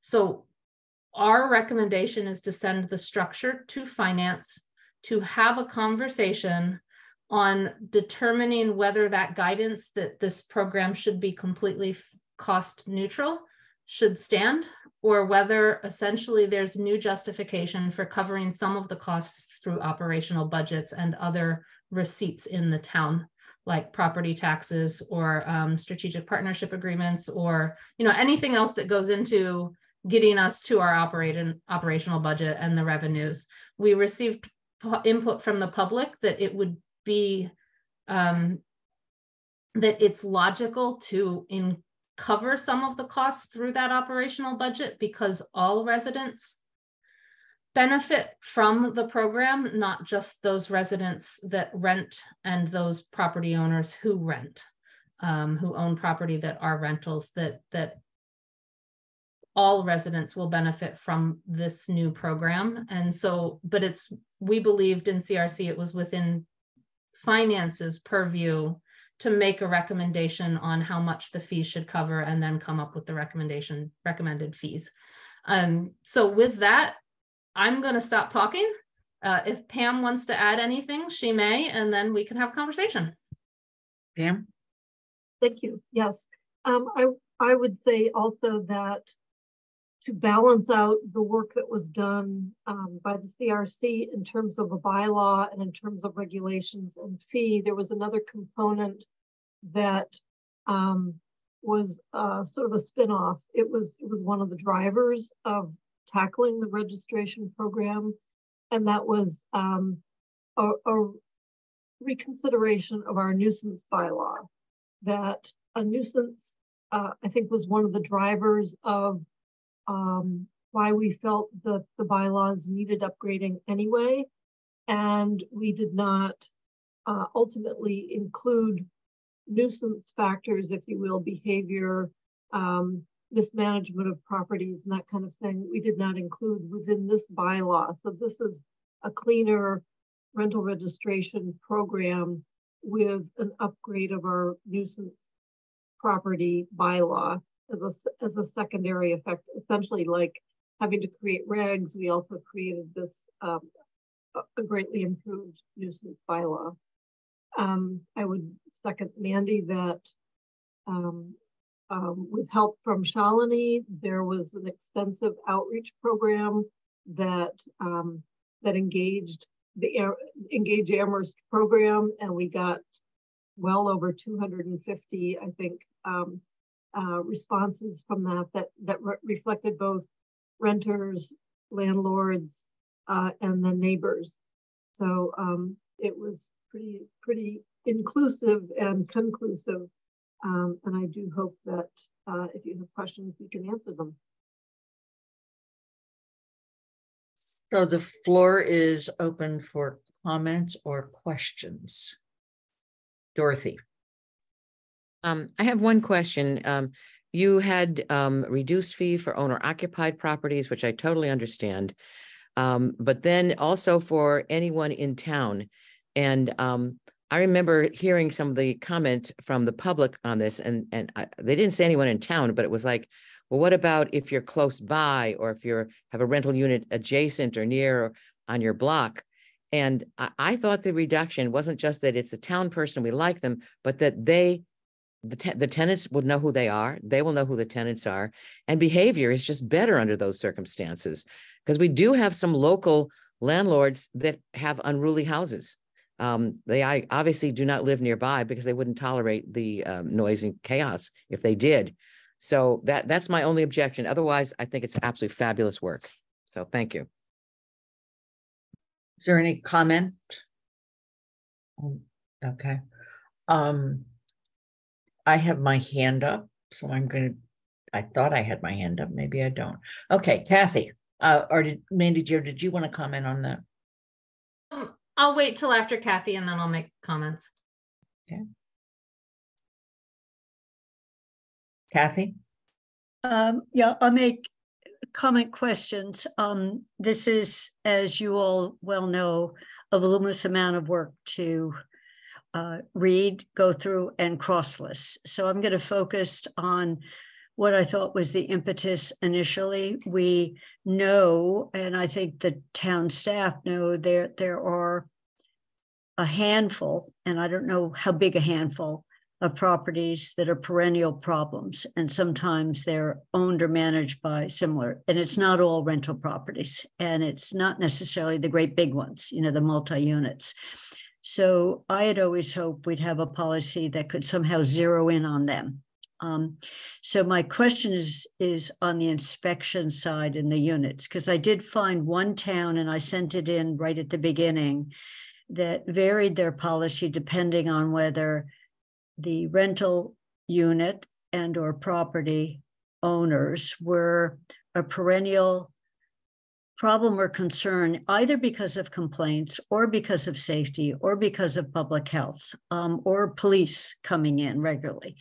And when they were those, there were more inspections than, and if they were complaint free um, for long periods of time. So we have five years, one year at the initial and then five years. My question is why wouldn't you want to go longer than five years? if you had a property that had been complaint free for all five years, why would you inspect them again? Um, because it raises the cost of inspections. My second question is if you have a problem place and you're inspecting more, more frequently, could we bill the inspection costs to the property owner rather than um, and help finance? Could there be a way of doing that? And people would be alerted right from the beginning on what criteria.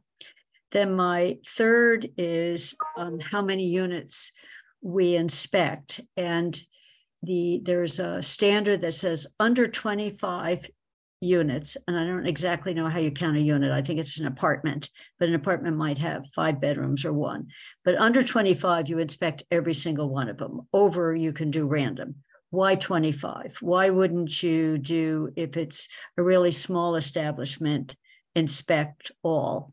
But then as you get bigger, uh, spot inspect, because again, it drives up the number of inspections. And I'm not talking now the nuisance inspections. If you're called that someone's worried about the electrical wiring or the plumbing. So that those are my major and and I didn't do the rest much of a thorough view. I was looking at the things that um, raise the cost to the property owner and or to the town and whether we can moderate those to do what I initially said of try to zero in on the pockets that are problematic. Um, however, broadly the definition of problem problem is defined. That's it. And I'll reserve other comments for when I've read the whole thing because I see it's going to finance and I'll get another chance to think about all the other pieces. Thank you very much.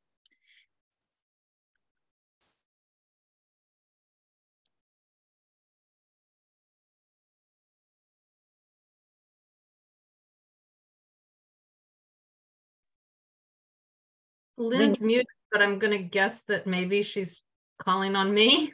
okay. Um, that's why there's all that. You were muted, Lynn.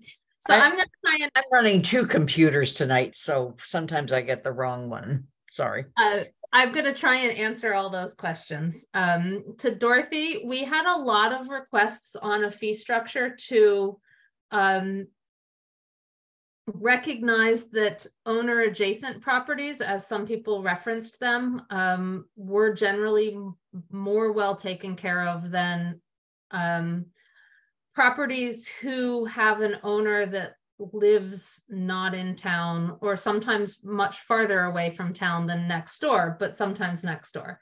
Um, and so that part of the fee structure recommendation is an attempt to recognize that for small landlords that have that live in town but might live on a property on a parcel that is not the parcel they're renting um, that they many times are close to as um, well taken care of as an owner occupied property um, but that so that's why there's a three unit limit to ownership in the town because we wanted to make sure we didn't include in that sort of line of fee structure those owners who live in town that own and really do run a rental property business as a huge going concern not as one or two units in town. So that that was that attempt there. We recognize it might not be a perfect way of doing it, um, but it, it, was our attempt at threading the needle there. Um, to Kathy, so the five year is um, was a standard that was we had originally had three. We moved it up to five at the request of Rob. Um, the town department is the one that believed that that was the most um, well, believe that that was a good number of years to be able to get into every unit. Um, there is within the regulations, within that five year, the ability for, there's a couple of reasons why that five year would not hold, even if there weren't complaints. So um, one is if the building commissioner believes the property needs inspected more frequently than every five years in order to obtain a permit. So one, one thing that our building commissioner has said is that they are generally aware of which properties might be more problematic um, and that they wanted the option to inspect them more frequently than the standard five-year inspection frequency. Another thing we wrote in is, um, Pam hint hinted at this with her comments, is one of the reasons to garner an inspection more frequently than every five years will be a violation of the nuisance bylaw. We know our nuisance bylaw rewrite is not done yet. We are working on it. Um, and we will begin working on it in earnest. We've we've reviewed it a couple times already, but we will work on it in earnest now that this one's at the council. Um, but we've written in that the the we've really tailored the rental registration permitting to health and safety code enforcement um, building codes, health codes, and all of that. But we recognize that uh, nuisance, non-building code nuisances can be a harbinger of issues related to a property. And so we've written in that a nuisance property violation could be a reason that the building commissioner would um, mandate a more frequent inspection schedule to renew a permit than every five years. He could do that once a year if he deemed it necessary because of all these other nuisance violations. So we've tried to write that into it to get that um, what what you were saying is on if it's been a perennial concern, how do we get in there more frequently? We've tried to ensure that that's in within the regulations on the frequency schedule. And in terms of billing for extra in inspection costs to the owners, the fee schedule, um, sets forth multiple fees and different fees. Well, finance will make a recommendation, but we have listed a fee for an initial inspection the very first time you get a permit, which um, Rob and his department have said actually takes more time than a renewal inspection if you're going for if you're renewing your permit and you need your inspection five years later that that one will take less time so that might have a different fee but then for complaint inspection so um, when there's a complaint that will have a separate fee. We've proposed a CRC to finance that each of those three inspection fees include a follow-up inspection in case the inspection has failed. Um, but if you need two follow-up inspections, that second one, if you fail the second, the first follow-up inspection, if you were cited for five violations, you come back in a month and there's now three violations instead of five. When you come back in a month to look at those three, that one will charge another inspection. So we think we've covered that, that ability for the people who are getting inspections to pay for the inspections um, within the fee structure, although depending on the fee set, we don't know how much it will cover. That that will be up to finance. But we've written in the ability if you're having more inspections you will pay more because you'll pay for each of the inspections instead of just paying one flat fee that covers all six inspections or something. I hope that answers all the questions. Jennifer. Thank you. You're muted. Um yeah i guess just to add on to what um Mandi said that we really were following the recommendations of our building and safety department. And they thought that every five years wouldn't be too onerous, but that would ensure that we knew that the you know um, apartments, duplexes, triplexes that were being rented out were in fact uh, safe and um, healthy and you know met all our inspection you know all our safe health and safety standards and i guess one example was I think it's actually in your district, Kathy, of, you know, the, there's currently a proposal for a special permit before the Zoning Board of Appeals, 798 to 800 North Pleasant Street.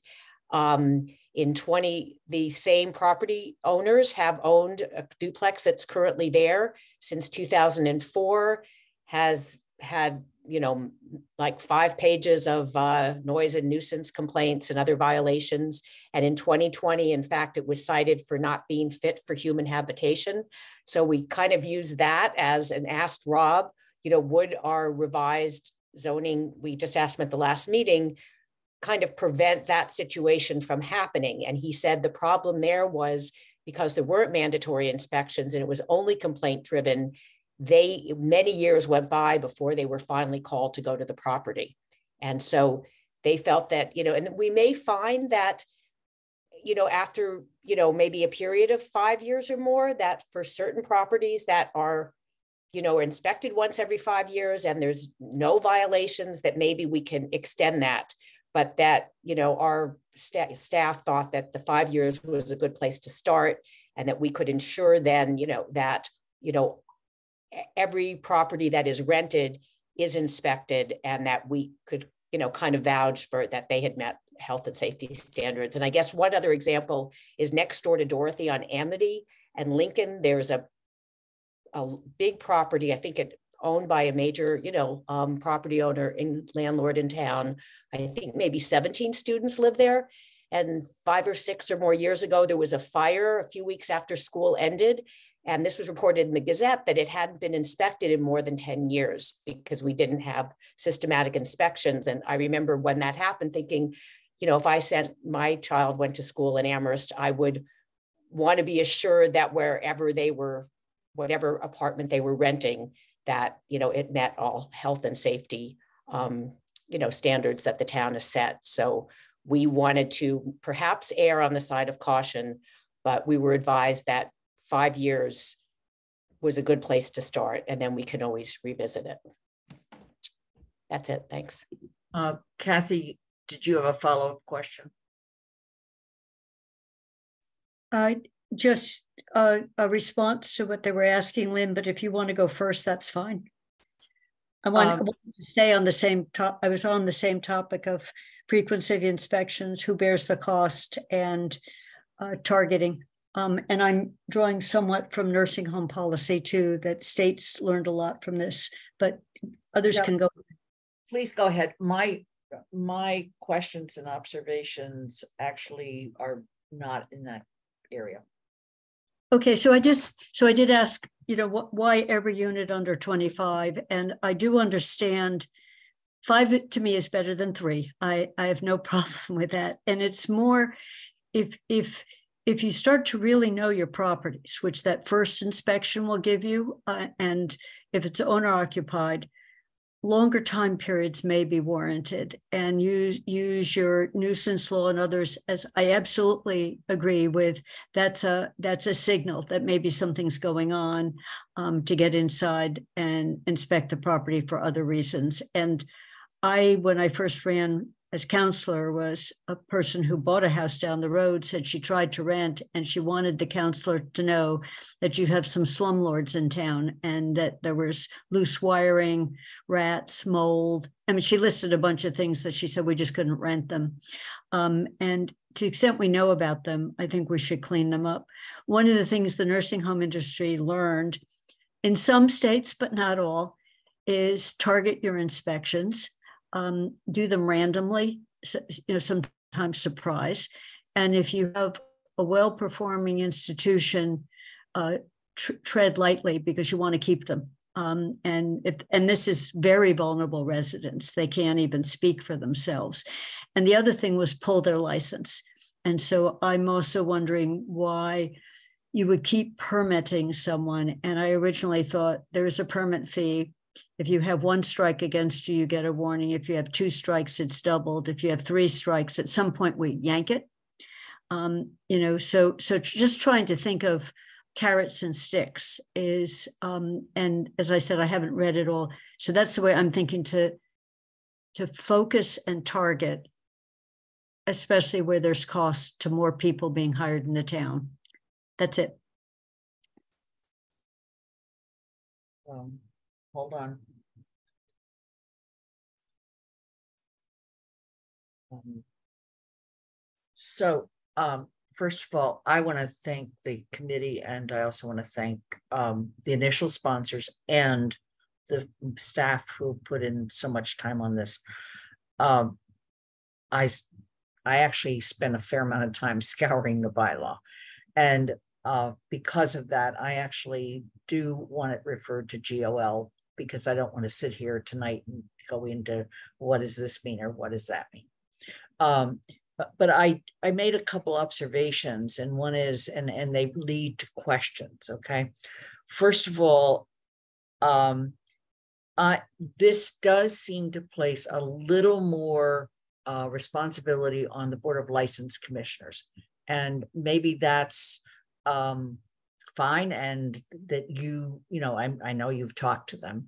Uh, I just wanted to recognize that it does place a little more responsibility on the Board of License Commissioners.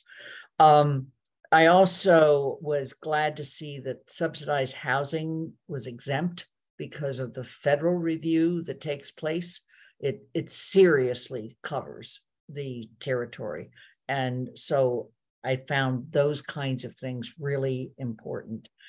I'd like you to talk a little bit about the issue of number of people occupying and number of bedrooms. I mean, in my district, I know there's at least one house where there's four bedrooms and seven cars.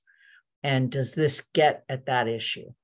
And then I, I frankly just don't remember. Have we ever gone out on legal review? And at what point did we go out on legal review? Thank you.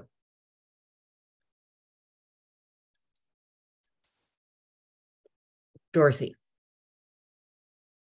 Unless Mandi Jo wanted to address some of those. I just want to tie up something that, that Jennifer said. Um, sometimes things go right. Okay. So the house next door, I don't know if it had other problems, but its fire alarm worked. There weren't any people in the house, and the fire alarm kept going on. Um, people didn't know what it was, but it went on. And the town fire department did a great job. So when things are done properly, lives are saved, buildings are saved. Um, and it's very important that this legislation um, get passed. Uh, it's been a great. Dorothy, you mute you muted accidentally. It kind of it did it to me. Uh, I love the fact that the the people who take care of this were input day by day and, and really worked on it. So I think this is a really great piece of work. Um, I'm sure there'll be a few more little touches here and there, but um, I'm really happy with it. So thank you. Mandi Jo. Okay, I've highlighted the questions now, so hopefully I won't miss any.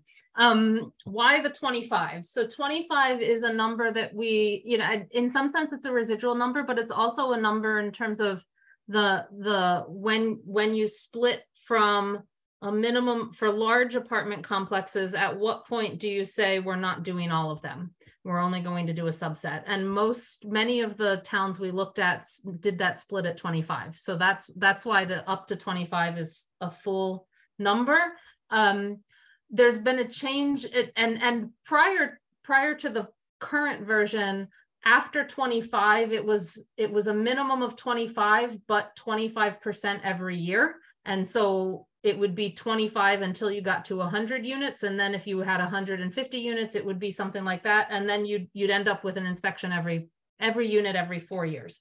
Um, with the change to inspection every five years the town attorney recommended that we clarify the units. The goal is to get into every unit every five years. And so once once you hit 25 then the new regulations say for larger complexes enough to ensure that you are inspecting every unit every five years without setting a specific target every year for buildings above 25. So if you have up to 25 units, you could you will have them all done in one year. And if you pass, and if our department says we're not concerned about this property, you won't have any inspections for five years. You'll come, well, you won't have an initial a renewal inspection for five years. Um, if there's complaints, you'll be there, but you'll you'll get one big inspection once every five years. Um, for the larger complexes above 25 units, this will actually allow our department to say, well, instead of doing in in a 150 unit, we have I, I think it's three, maybe six units uh, complexes that are between 100 and 150 units. Well, instead of if we have five, say instead of doing a, a 20% of every of each of those complexes every every year, we can do one full complex every year. So it will give our department a choice to say, well, we're going to do 50% this year, 50% next year, and then nothing every th for three years. We're going to do it all this year because we have five of these types of large buildings and we're just going to spend our time in Puffton one year and then in Brandywine the next. And then that or our department can choose to say we're going to do 20% every year so that we get into that building that that complex every year with a subset of the units so it gives them a uh, some options. Is there a pool or license? Yes there is. Um, but but Rob had wanted it to be may, and our attorney recommended mays, not shalls, in some of these to to you know and so um once you hit three notices of violations in three years within three years rob can decide to suspend or revoke the permit Um, and if it's suspended or revoked and, and the, we've, we don't, we have some specifics on how long the first suspension is, but then we get long. So, so, and if it's under suspension, you cannot renew your permit. So if it's suspended because of, because there were three violations for notices of violations within three years and Rob did decide to suspend the permit and that's a six month suspension that would come in through the renewal. Well, they wouldn't be able to renew their permit until after that suspension is finished. Um, so that is in there. Um, it may need, we, we had received Rob and his department indicated they have never suspended a permit in the 10 years of it because they don't like suspending permits. So the suspension issue was another one we spent a lot of time on of do we make it, we had attorney review that said, if you do do suspensions, you need a lot of due process and you need to work on all of that. And it gets very complicated. And a lot of the suspensions can't actually happen until the lease term is up. So you're actually suspending the permit, not for the current residents and maybe not even for the landlord because the landlord could just change ownership to a different owner even though they might be the different owner and then it wouldn't apply or there'd be also other issues. There were a lot of issues with suspensions so we tread lightly with it to Lynn's questions, the BLC has been reviewing these drafts since we started including them. They have had their input. They have said what they liked about their inclusion or what they didn't like. We've modified it because of all of that. They have at this point signed off on all of it. I've been in constant contact with Marion Walker, the chair, and she has the versions that are in the packet today and will be with a final, she had the attorney review ones and she'll be talking with them finally and knows when to get additional feedback back to us if there's anything they do want to change, but they have seen basically this version before the attorney review. Um, subsidized housing, I just wanted to clarify that it's not fully exempt. They will need a permit under right. the system. And Rob will get to choose whether they actually need inspections. He actually didn't want a full exemption from inspections because he sometimes has seen instances where despite the federal inspection, and the federal inspectors coming in, there were some town issues that needed corrected. And so he wanted the option to choose whether to need that inspection or not. So it's a may um, up to our town department. I just wanted to clarify that. Um, number of people occupying bedrooms and does this get to the issue? So um, not necessarily. I'm sure Pam and Jennifer will have it, it. It's hard. We talked a lot about this, right? There's a zoning. So, so to get an inspection, you have to comply with the zoning. And the zoning bylaw has a definition in there that defines family as certain related individuals, or if there's unrelated, no more than four unrelated. So if it's obvious that it's not in compliance with that, the permit should not be granted because the requirement in the bylaw is that you comply with that. It is not, though, one of the reasons to suspend or revoke a permit in the bylaw. So if you have the permit, in general, it will not be suspended or revoked if a violation is found of it later. We've we talked a lot about application questions that could get to this issue, a lot about how to start tracking some of this and figuring some of it out. And it's a very complicated issue. I, I would say on a personal non-chair level, I think we've tried to thread that needle pretty well. It's not perfect. And one of the reasons it's not perfect is because our building inspector has indicated that even if he cites someone for that violation, when he gets to court and the court asks, and, and someone challenges that particular rule because there's five, and the court asks, well, is it unsafe to have five individuals in there? If he does not feel the building is unsafe for an occupancy of five, he cannot testify that it it is unsafe. He will not testify that way. And generally, if he cannot testify that way, the court will throw out that violation. Um, so it's it's a complicated issue. We've tried to do the best we can with it, I would say. Um, and nuisance, we're, we're dealing with that issue under the nuisance review, nuisance bylaw review too. So this is not the end of it, I would say. Um, legal review, yes, those are actually in the packet. So, and, and you asked which version it was. Basically the version before this one, I think there's a number, I think they were like, say they were version eight and you're seeing version 10. Nine was essentially the same as 10. Um, there Thank were you. various, so yeah. Yeah. Thanks. I just wanted to clarify at what point, and maybe I just didn't get to that level of detail in everything you sent us, but thank you so much. Uh, Andy. Yeah, I thought long and hard about whether to make this observation, but I think I really need to as a matter of uh, first reading and just being an understanding of what it is that we're being asked to consider. And the reason I was hesitant was because it's also being referred to the Finance Committee, and I want to make it very clear that this has not been discussed with the Finance Committee at all. We have not taken this up because it hasn't been referred, and I've not talked with anybody. But I just want to point out something that's very obvious. This is a significant financial uh, change for the town.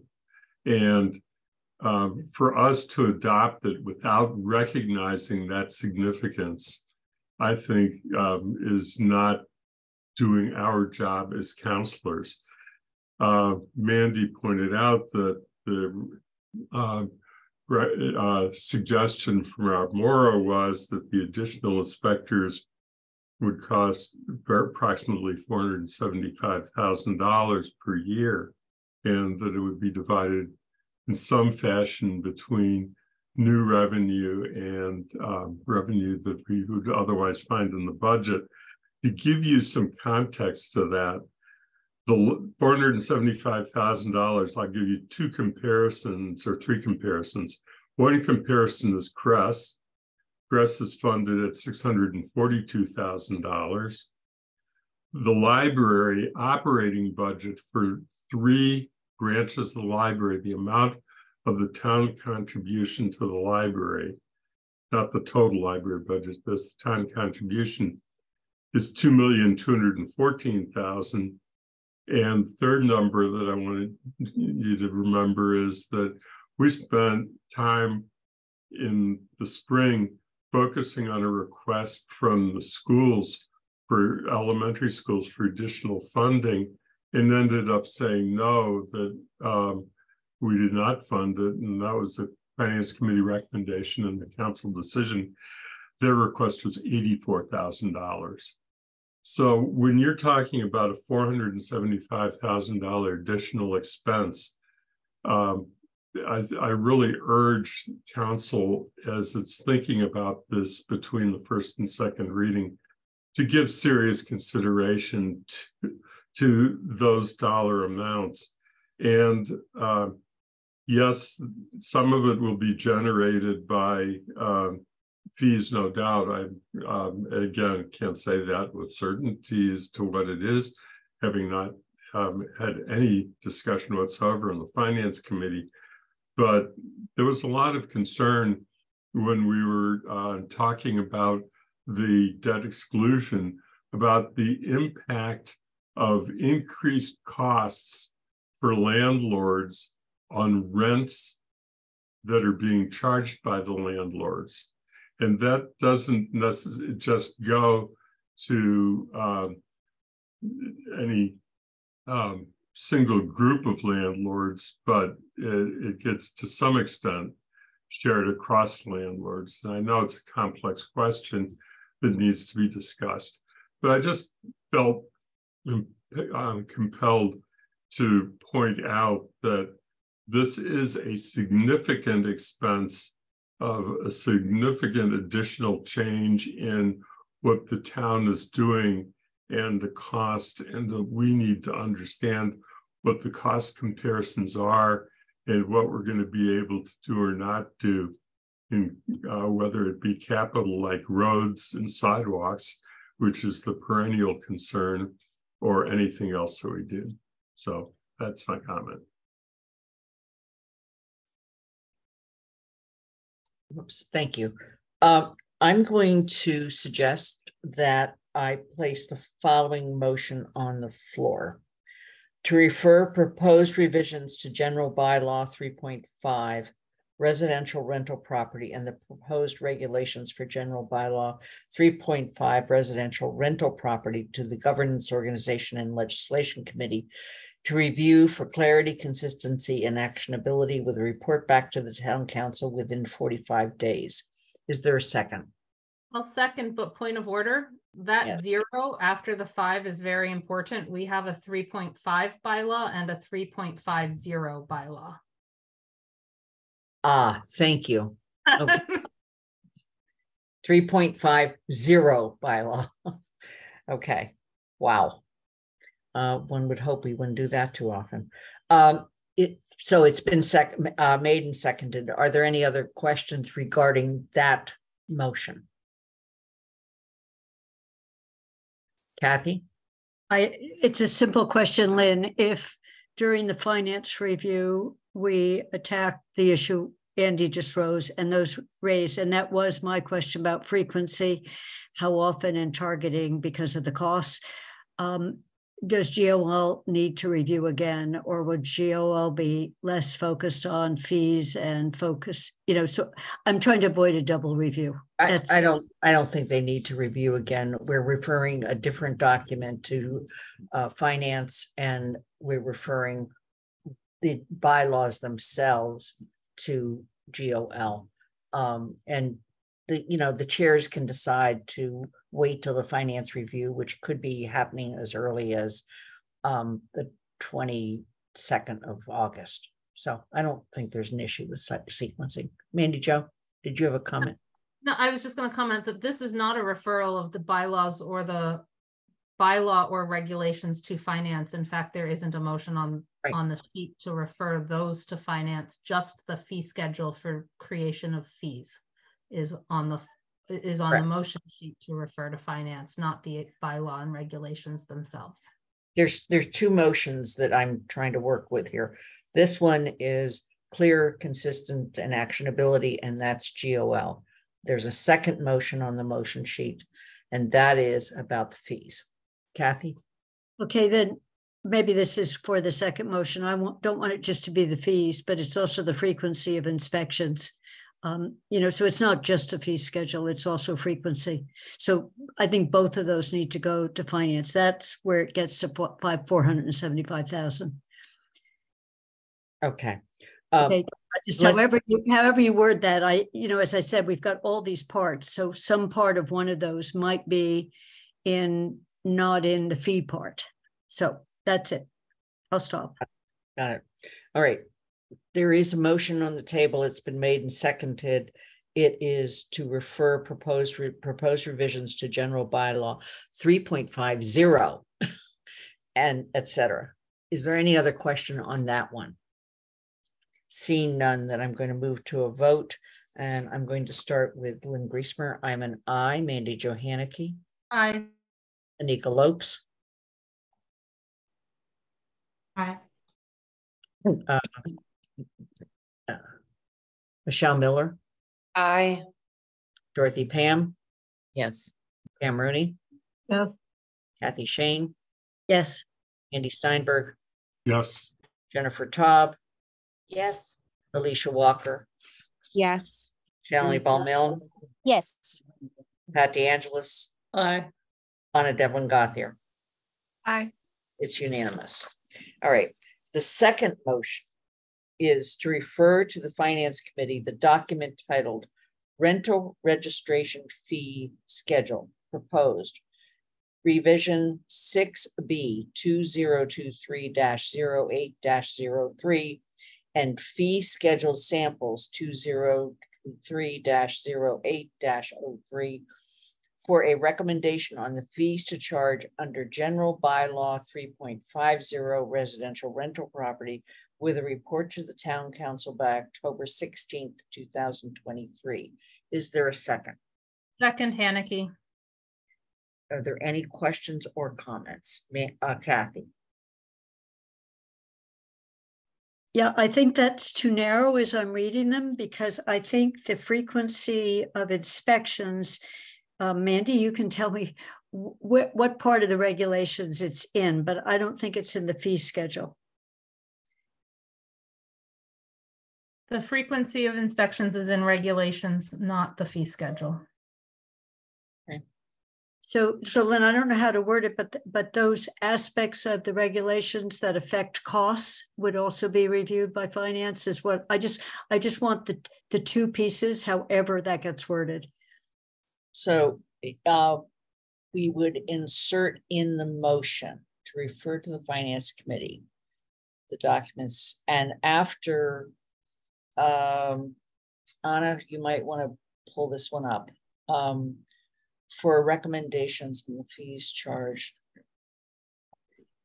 Comma, and um, the proposed regulations for general bylaw three point five zero residential rental property.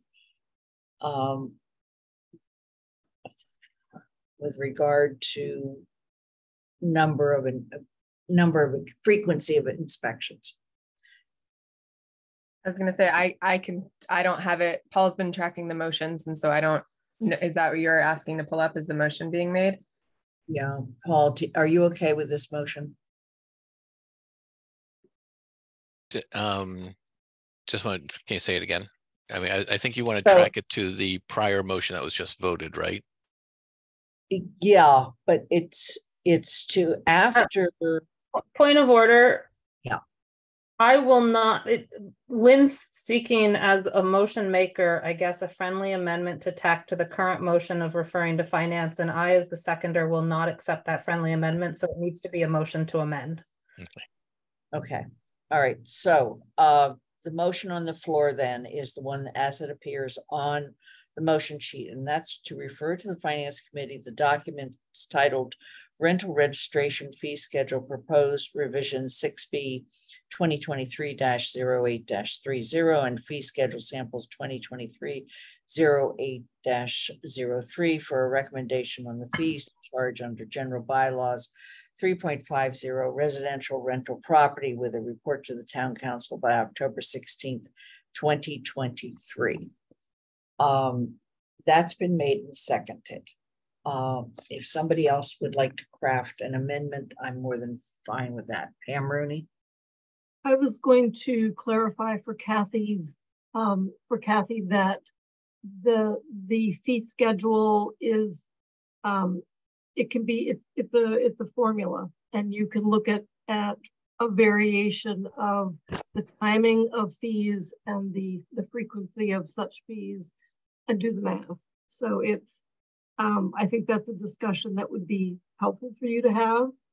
Um, as, as in do more, uh, does, does the more frequent schedule actually cost the town a lot more? Or is there, is there, because we would, we would associate a fee with an inspection. So it's not as though there is no income for, for inspection. Kathy? Uh, I don't think I completely understand why that is true. So I think what I'm being told is that you've made this motion. I need to propose an amendment to your motion that adds, and those sections uh, on frequency in in the 3.50 that relate to costs. I just don't want finance's hands to be tied and we say, oh no, you were just supposed to do this section. You can't overgo in this section. I want to be able to look at both because the two combined are what yields three full-time inspectors, um, including Lynn. We just heard the there's a May decision to inspect federal housing. You know, so if our inspector likes to inspect, they might just start to inspect more. You know, there's there's costs involved. So I'm willing to make a, a motion to amend Lynn's to include a cross-reference to the other, if that's what I need to do, unless I have permission in finance to talk about the other sections. If I have permission, I'm fine. I'm on finance, so if you're going to propose a change to the bylaw, I mean, to the regulations, because this only is, from what I'm understanding, this only is a matter of being in the regulations. It's not in the bylaw. If you're going to propose a change to the uh, bylaw based on the financial review, then the regulations would have to be referred to finance. Then I want, then I want to make a motion to amend. Okay, Jennifer, did you have a comment? It's more a question. So um, CRC is recommending based on, you know, input from our building and inspections department, inspections every five years. So finance could come back with figures for how to support a program with a five-year inspection. I, I suppose, couldn't finance also say, but if you wanted to spend less and you did it every seven years, I mean, I guess the council will vote to whether we want to approve spending at different levels. So couldn't, couldn't, wouldn't finance, you know, have the leeway to do that? We would certainly want them to come back with a fee schedule that reflects every five years. And if that was too expensive and they also, you know, said, well, you would save X amount if you did it every seven years and that the council would. So wouldn't they have that leeway within the current motion is I guess my I, question. I personally believe they would, but I want to be very clear, and I'm actually going to look to Andy and, and Paul and others to say, do you feel like the regulations need to be referred as well? Andy, Paul?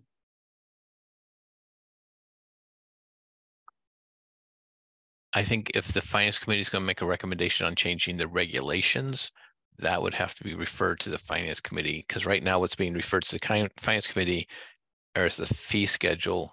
Um, Right. Yeah. That, that was my initial thought, even though I think we have the leeway. Uh, so Kathy has made a motion, and I just want to be more precise with the motion, and that is, uh, and you need to use the words, and the proposed regulations for general bylaw three point five zero residential rental property. That is the title of what you're trying to refer. And you wanted to refer it for specific purposes. So Kathy, if you could repeat your amendment using those words. Okay, adding to Lynn's amendment and this. I'm going to Proposed reg- Proposed regulations, three point five zero residential rental property regulations regarding the frequency of inspections. Is there a second?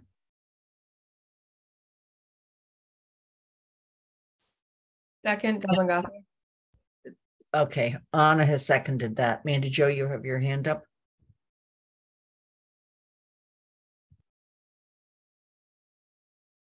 It's not going to be a surprise since I wouldn't let it be a friendly amendment that I'm going to oppose this amendment. Um, CRC has made a recommendation to adopt a five-year inspection program. If the council, when it finds out the fees on what might need to be charged under a five-year program based on what may or may not be able to be absorbed within the operating budget or not after consultation with the director, um, with the finance director and the town manager, if they come back with fees and the council looks at those fees and says, wow, this program is too expensive, what can we do to change it?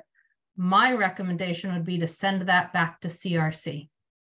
Because CRC is the body that should be discussing, or uh, someone could argue maybe TSO, but finance is not the body that should be discussing the substance of the regulations as it relates to frequency of inspections and recommending a different frequency. That's within the purview and the expertise of, at this point, CRC, who has spent 16 months discussing how frequent these inspections need to be with the building commissioner and the uh, John Thompson, our chief inspector.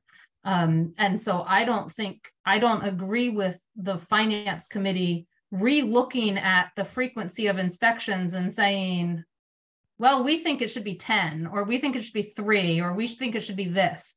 What finance can do is come back with the fees on this and allow the council to say, is that too expensive or not? And so I'm going to vote against the motion to amend. Andy?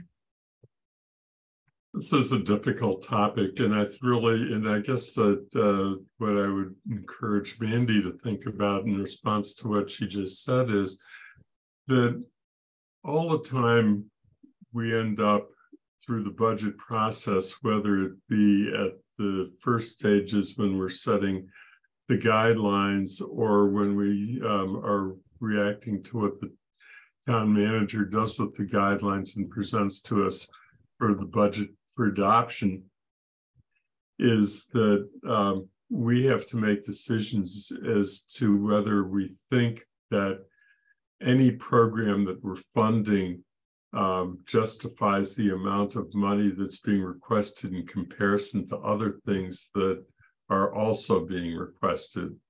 And, uh, you know, there's no department in town that would not, when we talk to them, say, we really could use more staff.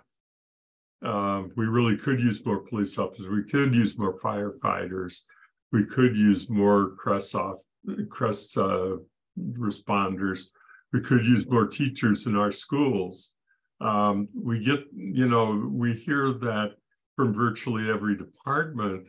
And at some point, we have to have a budget process that takes the departmental um, wish list and through the town manager and through the council boils that down to an amount that is supportable um, and that ends up being the final budget. And I think that what's bothering uh, about this and what Kathy is getting at and what I'm beginning to wonder about is how do those kinds of decisions fit in with this um, discussion we're having now? We're creating a process for inspections that may be more that the town can afford, but we haven't figured out how we're going to deal with um, that issue. And which then gets back to you pour it all into um, additional um, fees. Well, uh, we know that fees don't cover all expenses um, normally. They, they occasionally they do, but not normally, not not in every situation. And uh, how how do we uh, um, justify the amount of um, increase in rents that is going to happen as a result of what we do? I think that as a council, we need to grapple with this. And I don't think that we're grappling with it very well. Um, Michelle? I was very much um, following Mandi and and ve- feeling very supportive of of Mandi's position, and so, but I wanted to check myself. So I pulled up the finance committee charge, and I think it's relevant um, that in in the seventh bullet um, under the charge, it says upon referral from the council, make recommendations on proposed bylaws, including revisions, policies, or other measures under council consideration with regard to the effect the measure will have on town revenues, expenses, or finances. Um, and to me, that speaks to the need for um, there to be some consideration.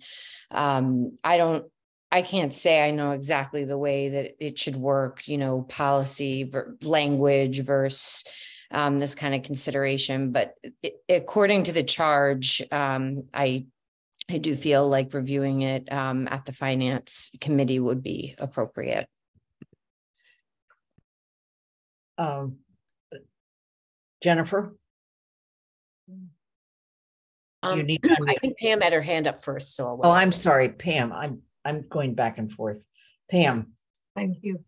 Um, I I really appreciate Kathy and Andy's response to uh, the request for FinCom review of this. it is it is another uh, input loop that we haven't had to date. And I think, you know, we've we've packaged this whole thing up pretty pretty tightly. Um, and now, you know, handing it over saying, and now do your part. Um, I, speaking just for myself, I am perfectly okay with finance committee looking at the whole package. I, if they come back and say, you know, I'm sorry, but your, you know, your your regulations um, need to be adjusted. I think that is a conversation that we then have to um, we have to have. It is yes, we are making a recommendation based on lots of conversation, lots of discussions.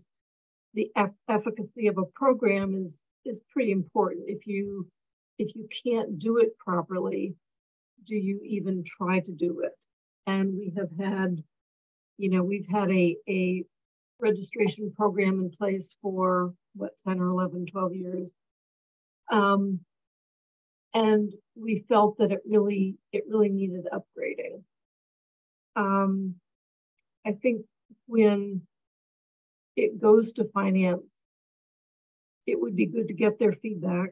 Um, so if we, if if the finance committee is asking for the inclusion of the regulations, which is really, you know, where it's spelled out in the frequency. I would just say though, that a town like Chatham inspects every year, every year across the board. Everybody gets a quick check every year and it's like clockwork. Um, we've gone with 10 year, with, with a five year um, suggestion because we have a lot of we have a lot of rental units in town and we could you know if we had 10 if we had 10 inspectors you know they wouldn't have a heavy burden but but we want to have as few inspectors as we possibly can have to make the program a success.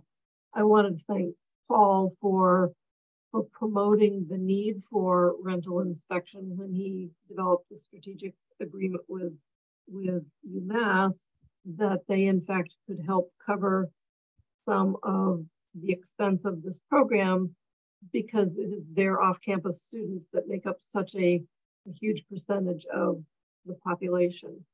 Um, I'll just stop there. Jennifer? Thank you, for, thank you for running the clock on me. Jennifer? Yeah, I also wanted to say that, I mean, I agree with Mandi that the CRC spent a lot of time discussing this, and we worked very closely with Rob Morra and John Thompson, and we we you know a lot of consi- thought and consideration and you know research went into you know recommending every five years inspection. And i know when we did the engage amherst survey responses which i think was like last year this time a part of you know tenants wrote back and said that they were concerned about reporting um, health and safety violations where they lived because there was some concern about, you know, would there be any kind of retaliation or, you know, how what would it do to their, you know, um, relationship with their landlord.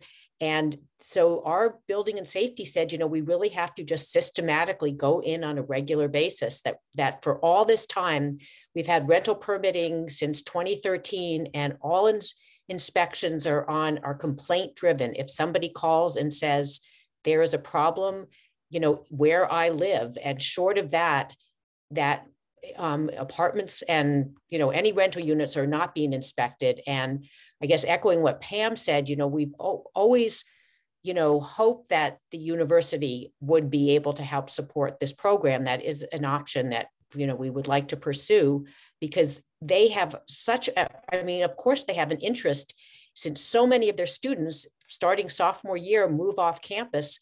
Uh, they need, you know, they would want to know, we would think that their students are living in safe and healthy, um, you know, houses and apartments off campus. And I would be, I don't see why the finance department couldn't come back and say, this is what it would cost for every five, five year inspections this is what it would cost for seven, this is what it would cost for 10. But I don't think finance should maybe make that decision for us because CRC has asked, you know, that for finance to set actual fees based on a structure that we recommended for every five years. And certainly, I mean, I think if you came back and you know showed us some other options, and then maybe it would, I don't know if the conversation would be in council in the council or it would go back to CRC to see if we can have an effective program that ensures that the rental units in town are meet are healthy and safe based on an inspection system that is less than every five years. So I guess I'm repeating what I said before, but I would like finance to come back with figures for every five years. And if you want to suggest, you know, a different, um, show us what a, a comparison would be with a less frequent or more frequent schedule that we would be receptive to that. But I think we would want to see what it would cost us for every five years because there we have um, mm. really thought through why we would want inspections to be on that schedule. Thank you. Thank you. Ellisha? Um, thank you, Lynn. Um, yeah, so I, I really respect the the work of the CRC on this, and I think it's a really important initiative. Um, and as a member of the finance committee, I also think it would be important to be able to consider the regulations um, so that we can get a more realistic idea of how we can make this happen um, in the larger context of how it would actually function within the town budget. So I do hear what Jennifer's saying, and I agree in that, like, if they're asking for the recommendation for every five years, that is what we should look at when we're looking at the fee structures. But I don't think we should be limited to just that because it would be really important. I think in like with the idea of moving this forward that if there were a better context in which this would work for the town that we should also be able to bring light to that. Not that it needs to be like a formal recommendation that we recommend you do x amount of years instead but like this would be a more financially sound decision for our budget and that we would be able to say that like formally coming out of the finance committee so I do agree with Kathy in that I think the wording maybe should be changed a bit so that we have the ability to consider that. But that doesn't mean we don't also give what you're asking for, which is the fee structure for the five years. So that like it's not limiting us to just that. Dorothy. Um, I have no problem with the finance committee studying it and making some suggestions. But I do not want the finance committee to be in a position to kill the bill. That would be a very, very bad thing because I'm still very unhappy about the fact that um, we did not, I believe, vote properly on having on who pays for having letting individual homeowners pay for pipes and paving of public streets. Uh, that move that we spent a lot of time on it just seems to have disappeared. It's in limbo, seems to have not be there. So I really, this, the finance committee can make a recommendation, but I hope it doesn't think it's its job to kill this proposal. This is essential if we are to be a really um, forward-thinking college town. We have to ensure that we're doing our best. The town is doing its best to maintain safe uh, housing for students to live in. Um, that's it. Thank you. Mandi Jo.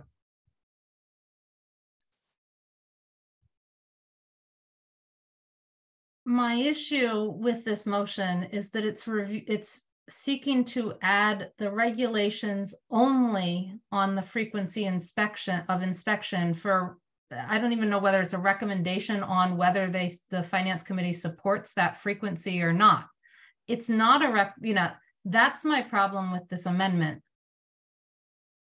I might be able to support a referral to finance for a recommendation on the bylaw itself and regulations itself as a whole.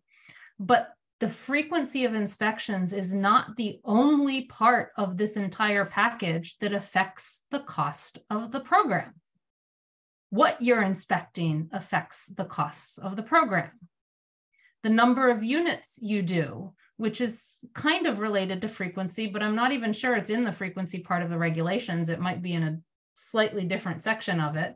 Um, how long the permit is for. affects the cost of the program? Are you applying every year such that every year we have to review all of those applications and not? Or is the application and permit good for two years?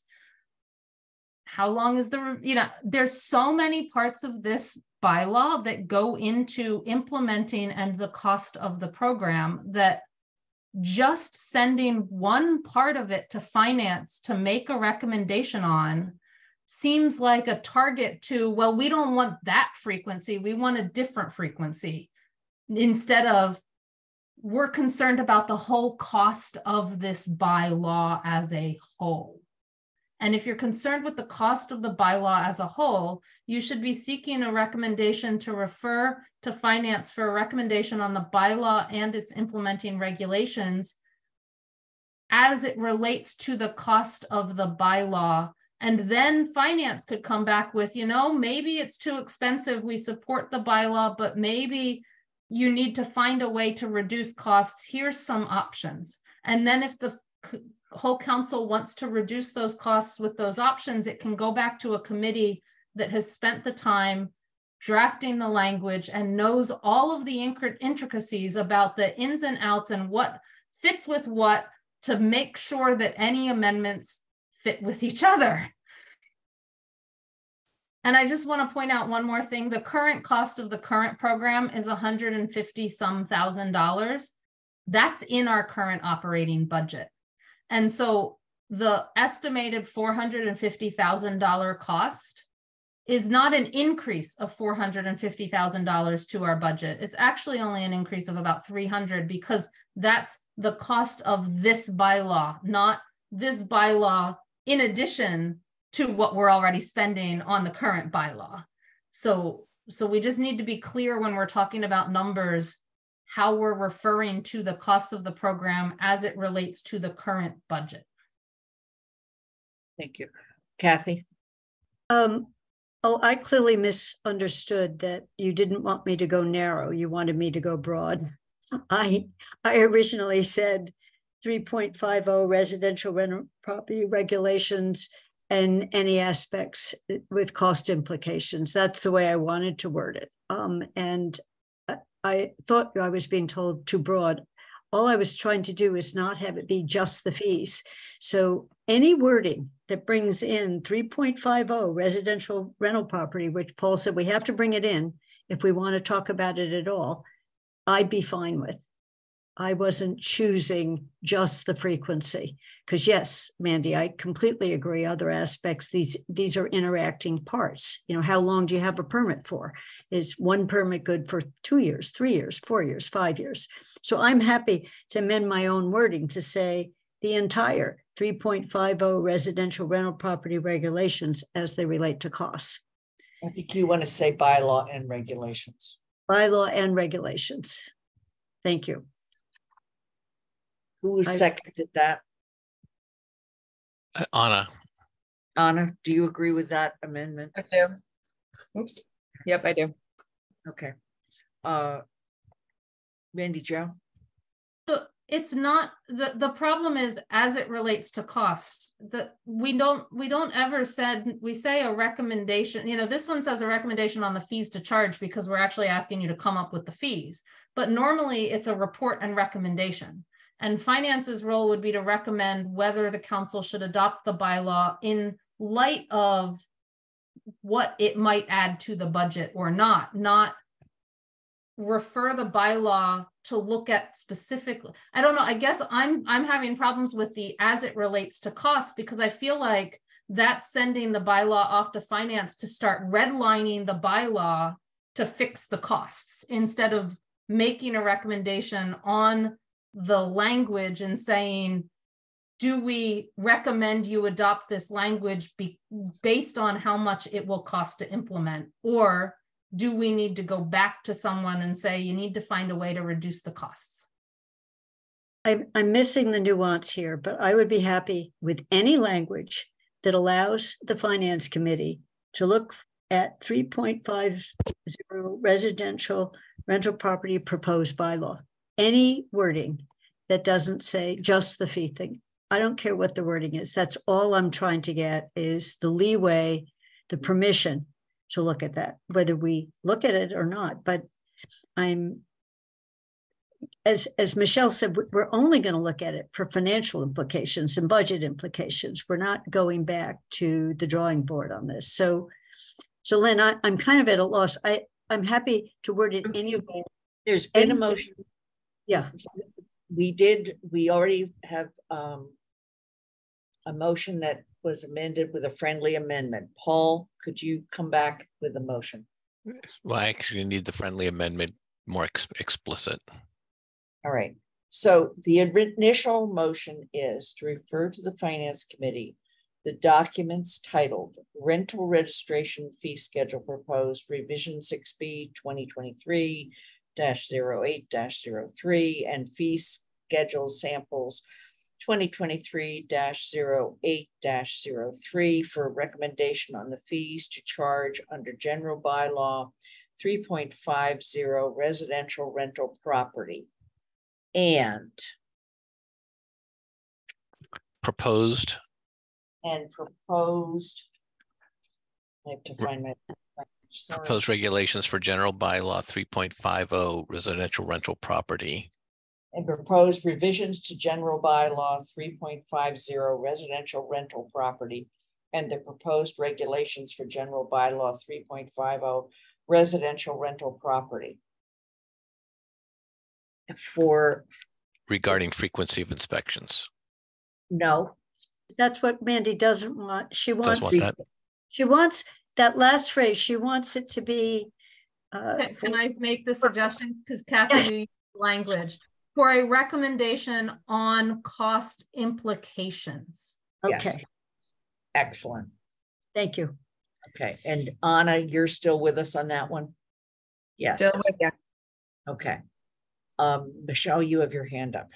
I was simply going to broaden it even a little bit more and take it right from our charge, which um, is to say, um, with regard to the effect the measure will have on town revenues, expenses, or finances um, to get that word cost out of there and and look at it from that more holistic um, lens that's uh, um, aligned there with our charge. But yeah. if I don't know, if, my sense is that the the charge for the committee means exactly that. And so, is there any anybody want to go along with any further changes on this? Seeing none. Okay, are there any questions? Paul, can you read the motion? Sorry, You're going to need to correct me if I'm wrong. So uh, I will read the entire motion. So so I'm going to read the amendment because that's what we're voting on. We're just voting right. on the amendment, right? Correct. So the main motion is printed on the motion sheet. Um, and it's to be amended by Kathy's motion, seconded by Ana, to say, and proposed revisions Oh, God, my writing. Um, Proposed revisions to general bylaw three point five zero residential rental property and the proposed regulations for general bylaw three point five zero residential rental property. on And cost implications. Cost implications. All right, that is the, we are voting on the amendment to the motion. Okay, that is the amendment to the motion. Any further questions on the amendment to the motion? If not, I'm going to start with uh, Mandi Jo. Aye. Uh, Anika Lopes. Aye. Michelle Miller. I'm an aye, but I did have a question that I raised before you called the vote. Um, but Sorry. um, I just want to ensure that this, uh, the, the language that we're using allows us to look at not only the cost negative implications, but all implications that the bylaw mm-hmm. will have. Okay. Yes, does. So your vote? Oh, I'm an aye. Yes. Uh, Dorothy Pam? Yes. Pam Rooney, Yes. Kathy Schoen, Yes. Andy Steinberg, Aye. Jennifer Taub, Yes. Ellisha Walker, Yes. Shalini Bahl-Milne, Yes. Pat DeAngelis, Aye. Ana Devlin Gauthier. Aye. And Lynn Griesemer is an aye. Now we go back to the original motion. The original motion combines all of the financial documents and the bylaws and the regulations for cost implications. Does anybody need me to try to read the whole thing? Okay, none. Then we're going to start with the vote. Anika Lopes.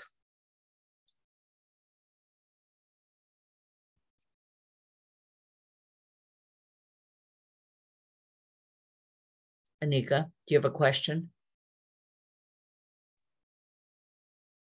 I'm sorry, my audio went out for a moment. Oh, okay. Um, we're now voting on the motion that includes the referral to the finance committee of all of the financial documents as well as the bylaws and regulations for the purpose of looking at cost implications for the town. Aye. Michelle Miller. Aye. Dorothy Pam. Yes. Pam Rooney. Yes. Did you say no? I said yes. Yes, thank you. Uh, Kathy Schoen, Yes. Andy Steinberg, Yes. Jennifer Taub, Yes. Ellisha Walker.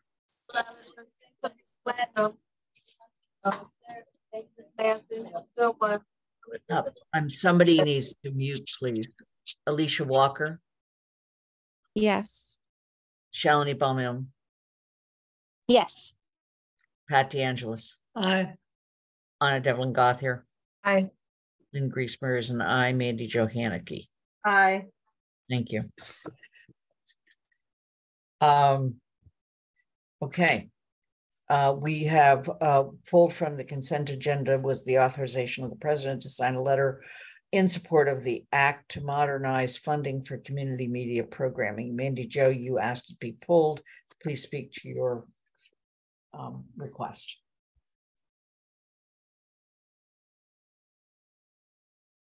Yeah, um, I had a couple of questions about the bill itself because the, the letter would have the council supporting the bill. And I, I thought this was a major bill that we should actually discuss before we just throw on consent support of the bill.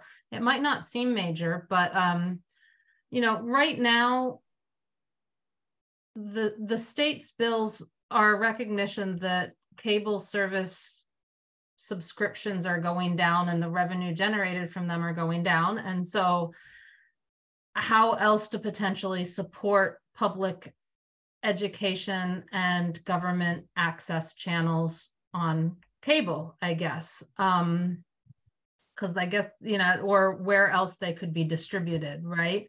Um, and my concern with this bill, and I have a concern with it as to potentially supporting it, is right now the the way cable fees are distributed and collected are negotiations between the mostly negotiations between the municipality direct negotiations between the municipality and the cable operator under a franchise fee.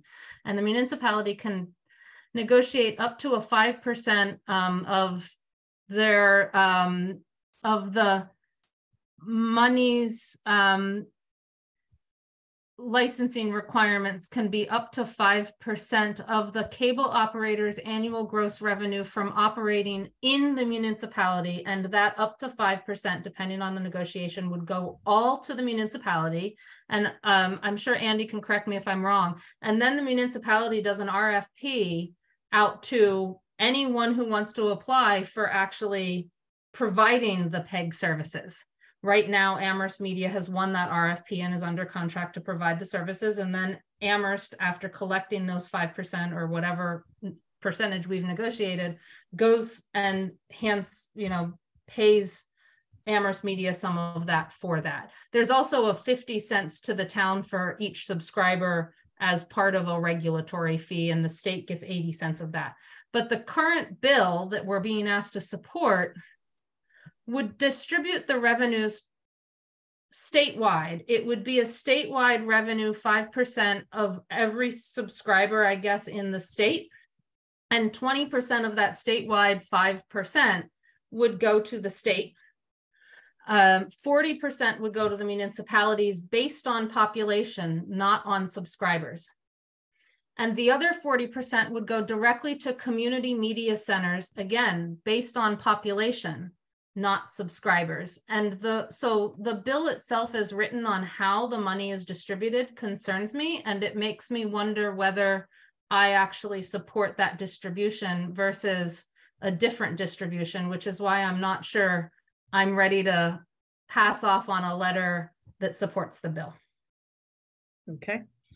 Are there other, other comments regarding this?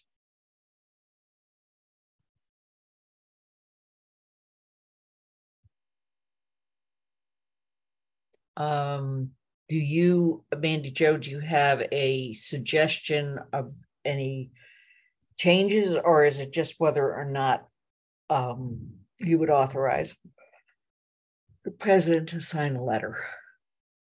I mean, in some sense, it's that I, I would probably vote against authorization because I'm not sure this is the right bill. Okay. Dorothy, you have a question? Um, yes, um, I have to agree. I don't understand the implications of the letter.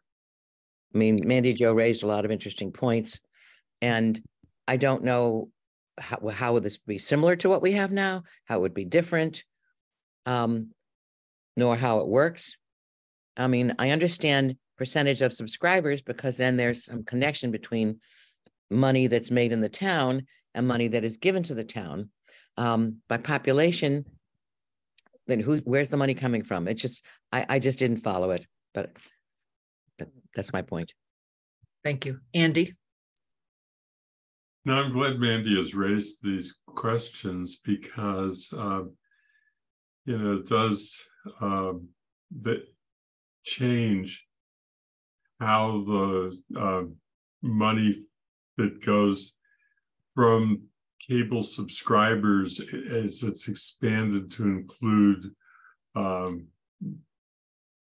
uh, web-based services providers in addition um, as an addition in how that whole system works and it's it's difficult and there are multiple pieces to it. One is is that uh, to figure out how the arithmetic works out for um, Amherst is a community that we're ultimately caring about and supporting this.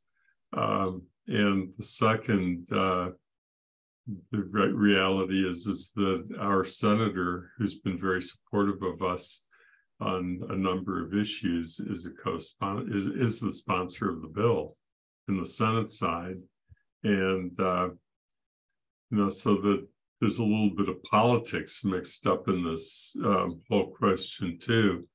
Um, the only way to revise it would be to um, amend the letter. Um, I don't know where the letter came from, but to amend the letter so that it's supporting the principle of um, expand um, that we support legislation that expands um, revenue base or that's available for cable services without getting into the actual specific bill. But if you do that, then do you have to get into being more specific as to what it is that your concerns are about the current legislation, even if you don't label it in that way. So it would really require that it go back to somebody to revise the letter if we decide not to do it. Oh, and I'll be glad to revise the letter or I will accept the council's uh, decision not to send the letter. Uh, it was a request that came from Amherst Media. Um, and it's parallel to an effort by Senator Markey at the federal level. Pam? I had a question, maybe Paul could answer it. Is I I just made a bad assumption that that this was a replacement for the what seventy-five thousand dollar Comcast um, income that Comcast provides to the town, and that this would somehow be a um, an alternate source for the same money. If you if you could explain. No, I haven't read it closely, but I believe it's a new tax on streaming services. So the, the existing contracts with Comcast stay in place.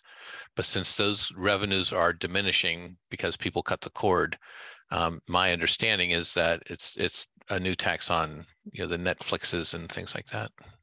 Right. Ana?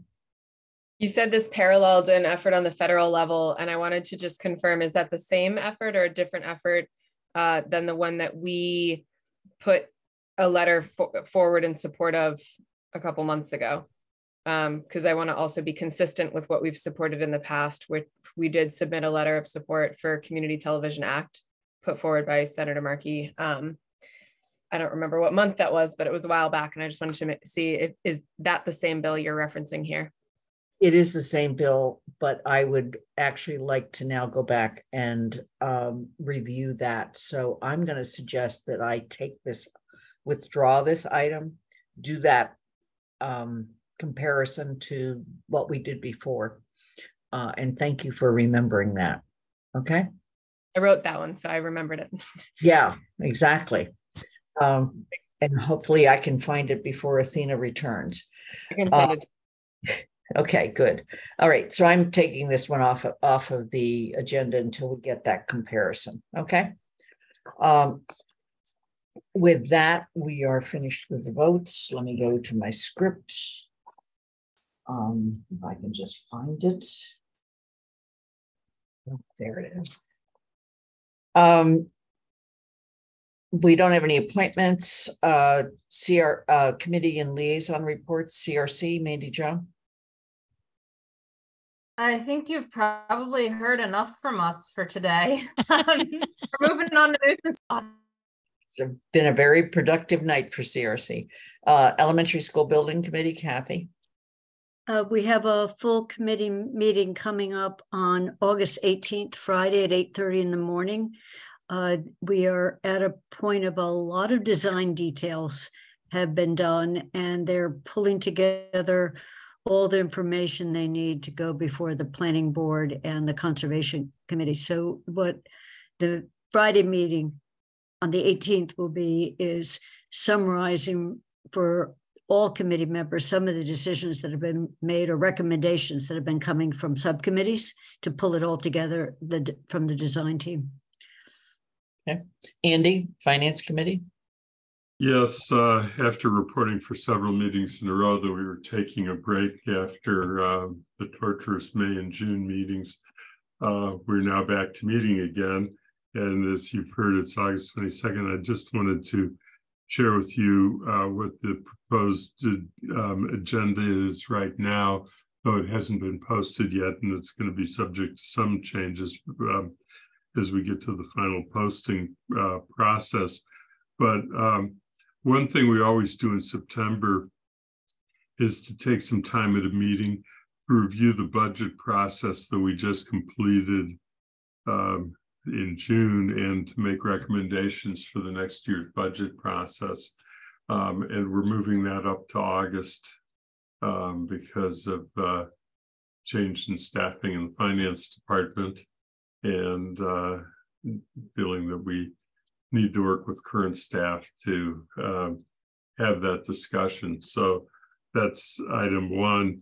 Item two is to um, review the um, FY24 budget uh, now that we're at a point where we are um, have the budget as state budget is passed by the legislature and may by the time we meet have some indication of what the governor has done with the budget and uh, what overrides seem possible if there are vetoes that affect the, the revenue that would be otherwise coming to the town. So that, that would be a second item. A third item is um, to take an advantage of um, our staff member who's leaving us to do one last round of discussion with him about the uh, financial projections for the four major building projects. And the last two items are the two items that we have already discussed in this meeting, the rental registration bylaw and the um, financial consequences of the streetlight policy. So it's going to be a pretty um, complete agenda and we're going to have to make some choices as to how much time to we can spend to each item and what are the um, highest priorities for use of time. But that is what the agenda is for, um, at least tentatively, for the meeting. Okay. Uh, GOL, Pat? Yeah, I think the uh, memo that I submitted is pretty, uh, has most of the information. We're continuing our review of the rules of procedure. The, and um, we are, we've been focusing a lot on uh, public uh, participation and conduct, not public conduct, but conduct of public counselors, uh, presenters, guests, etc. Um, and um, I think the other, uh, you know, you, you we did the um, resolution in support of trails. We have the town, uh, the clerk of the council submitting um, suggestions on some of the rules around agendas, et cetera, which has been uh, really the first time that that's happened. And it's really exciting to have her participation. Um, and the other thing is that we are having a second uh, uh, legal review of the uh, ensuring safe access to legally protected reproductive and um, gender affirming healthcare, that proposed bylaw. Uh, there have been some changes. We want the uh, legal review there. And then the other thing is that we realized we need to have some way of getting feedback uh, from the school uh, department, from the superintendent about whether or not the bylaw is consistent with the plan he's presented to the school community about lesbian, gay, transgender, bisexual, queer plus um, students, both, both their treatment and safety. And we've requested uh, uh, some kind of feedback or meeting with the library trustees and director to get an understanding about whether they would be able to apply these rules. Um, so it's been kind of interesting um, to look at, to, to begin to stop siloing a council decision and open it up to other people that it the decision could impact. Jones Library Building Committee, Anika. Unfortunately, I was not able to attend the last meeting, so I will uh, defer to Paul. And also knowing that TSO is coming next, we all know that the agenda item will be welcoming back. Uh, we have also not met since our last meeting. Our next meeting will be August Thursday, August 31st. Okay. Paul, did you have a uh, comment on the Jones Library Building Committee? And I wasn't at that meeting either. So Okay. We'll uh, have the minute, the, the the minutes will be coming and, and make sure to uh, give a thorough report at the next meeting. That's July 27th is when they met. Okay. Uh, AHRA, Michelle has uh, had to leave. In fact, the minutes should note that she left right around 10 o'clock. Um, liaison reports, any liaison reports at this time?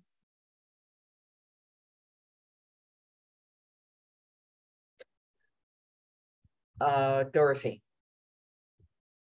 Um, just a, a, brief report that um, CSSJC is um, interested in learning more about plans for the youth center and interested what is in learning out what is the plan for uh, finding a new police chief. That's it. Thank you. Thank you. Uh, any other liaison reports? Uh, we've approved the minutes. Paul, are there any highlights you want to give us? I know this is not a written report meeting. Yeah, there are a few, if people are able to wait for a second to add. So a few things that are coming up, just of preview. Uh, we have a ribbon cutting for the Pomeroy Village uh, roundabout that we're, we'll be trying to schedule when we get our state officials in town. Um, we want to do a groundbreaking for Centennial uh, Water Treatment Facility. We're looking at August 24th for that, once we get confirmation again from the state officials.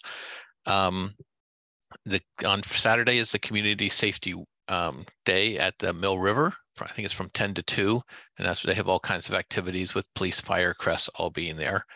Um, you can mark, you'll get a, in, you'll be getting an invitation soon to the university's um, community breakfast, which will be August 29th, although I haven't seen it in writing, that's what I've been told. So um, in terms of the the and then uh, then the, the big thing is, of course, our finance director has resigned. His last day on the job will be August 30th.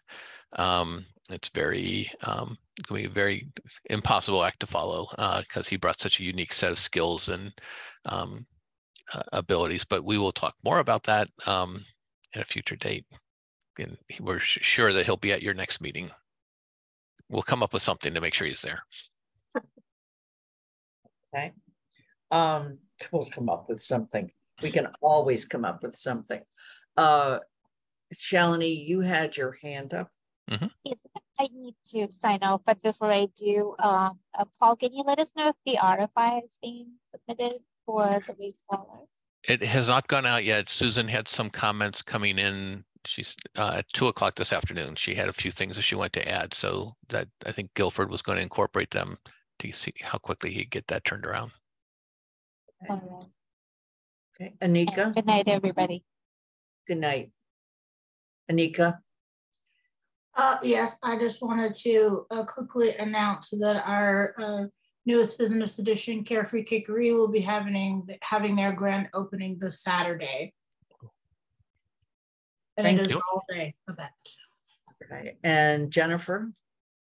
Yeah, I just had two questions for Paul. Um, would when the RFI goes out for the waste hauler, could you maybe just you know shoot us an email? Oh, sure. Yes, Absolutely. Yeah. yeah, I can I can I can send it out to you. Okay, that would be great. Thank you. And I also just want to ask if any decision had been made about the buried line coverage. Yes, we have. Uh, we met with the company. Um, I'll, I'll, be talking with Sean about that tomorrow. We've got a, a, company who's able to do it. They think it takes about six to eight weeks to implement uh, in terms of educating people and putting it out there. So we can we can turn that. So within the next six to eight weeks, I think we can have that out. Oh, so that means it would actually be available for people in, great. So the, so a decision has been made to, We can offer that to people. To So it. basically, it's private insurance that people would purchase, but the town would sponsor it. We would say, we're off, we're suggest, we're sharing the information out to everyone. So in a sense, it, it has our imprimatur on it. It's a program that's through the National League of Cities that has received good reviews. so could we actually mention that in like to our district, you know, newsletter? Sure.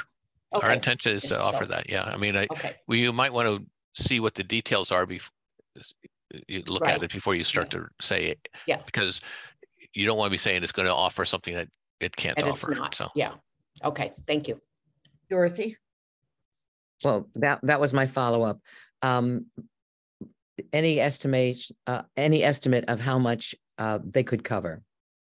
Well, typically what they, I think they, there's a, pro- their program of offers up to eight thousand dollars. Okay. Okay, thank you very much. Uh, are there any other, I have no report. Um, I'll be working on the agenda for the twenty-first, but let's leave that till then. Are there any other council comments?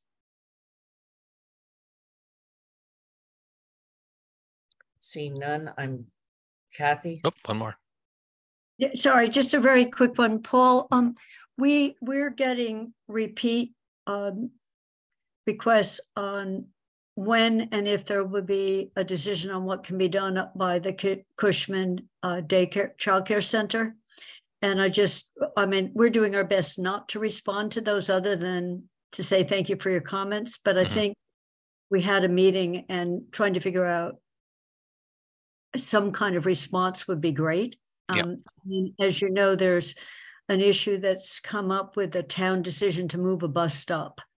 And people are like, who, who made the decision and why is the question? Because it's out of control of ZBA, but it's a question of where did that, and can that decision be changed? So those two things, I realize you're, you're way too busy to have this rival but- you, so- but yeah. So on the Cushman, you know, that's on my list for Guilford when we meet on Wednesday. On the bus stop, um, so that was part of a um, design of North Pleasant Street that was done many years ago. And as people are coming in and can do things, that was to relocate that bus stop to and provide for a pull-off area for the bus. PVTA has to approve it. Um, but again, this, you know, um, if, if the council doesn't want to relocate that bus stop, it can revisit that, that decision made previously. I think it was, I think it actually was a select board decision, quite honestly, or a review of it. I'm not sure exactly how it developed. But I think that what the, what the plan has been is like, right now, the bus stop, the bus stops right in the middle of the road.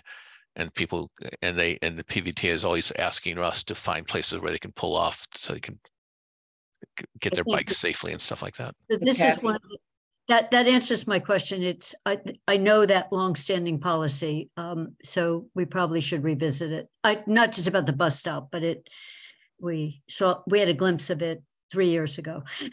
But thank you. And, and I think this is coming back to the ZBA at the end of September or something like that. Okay, are there any other councillor comments or questions? Seeing none, the meeting is adjourned at ten twenty-eight. Yeah.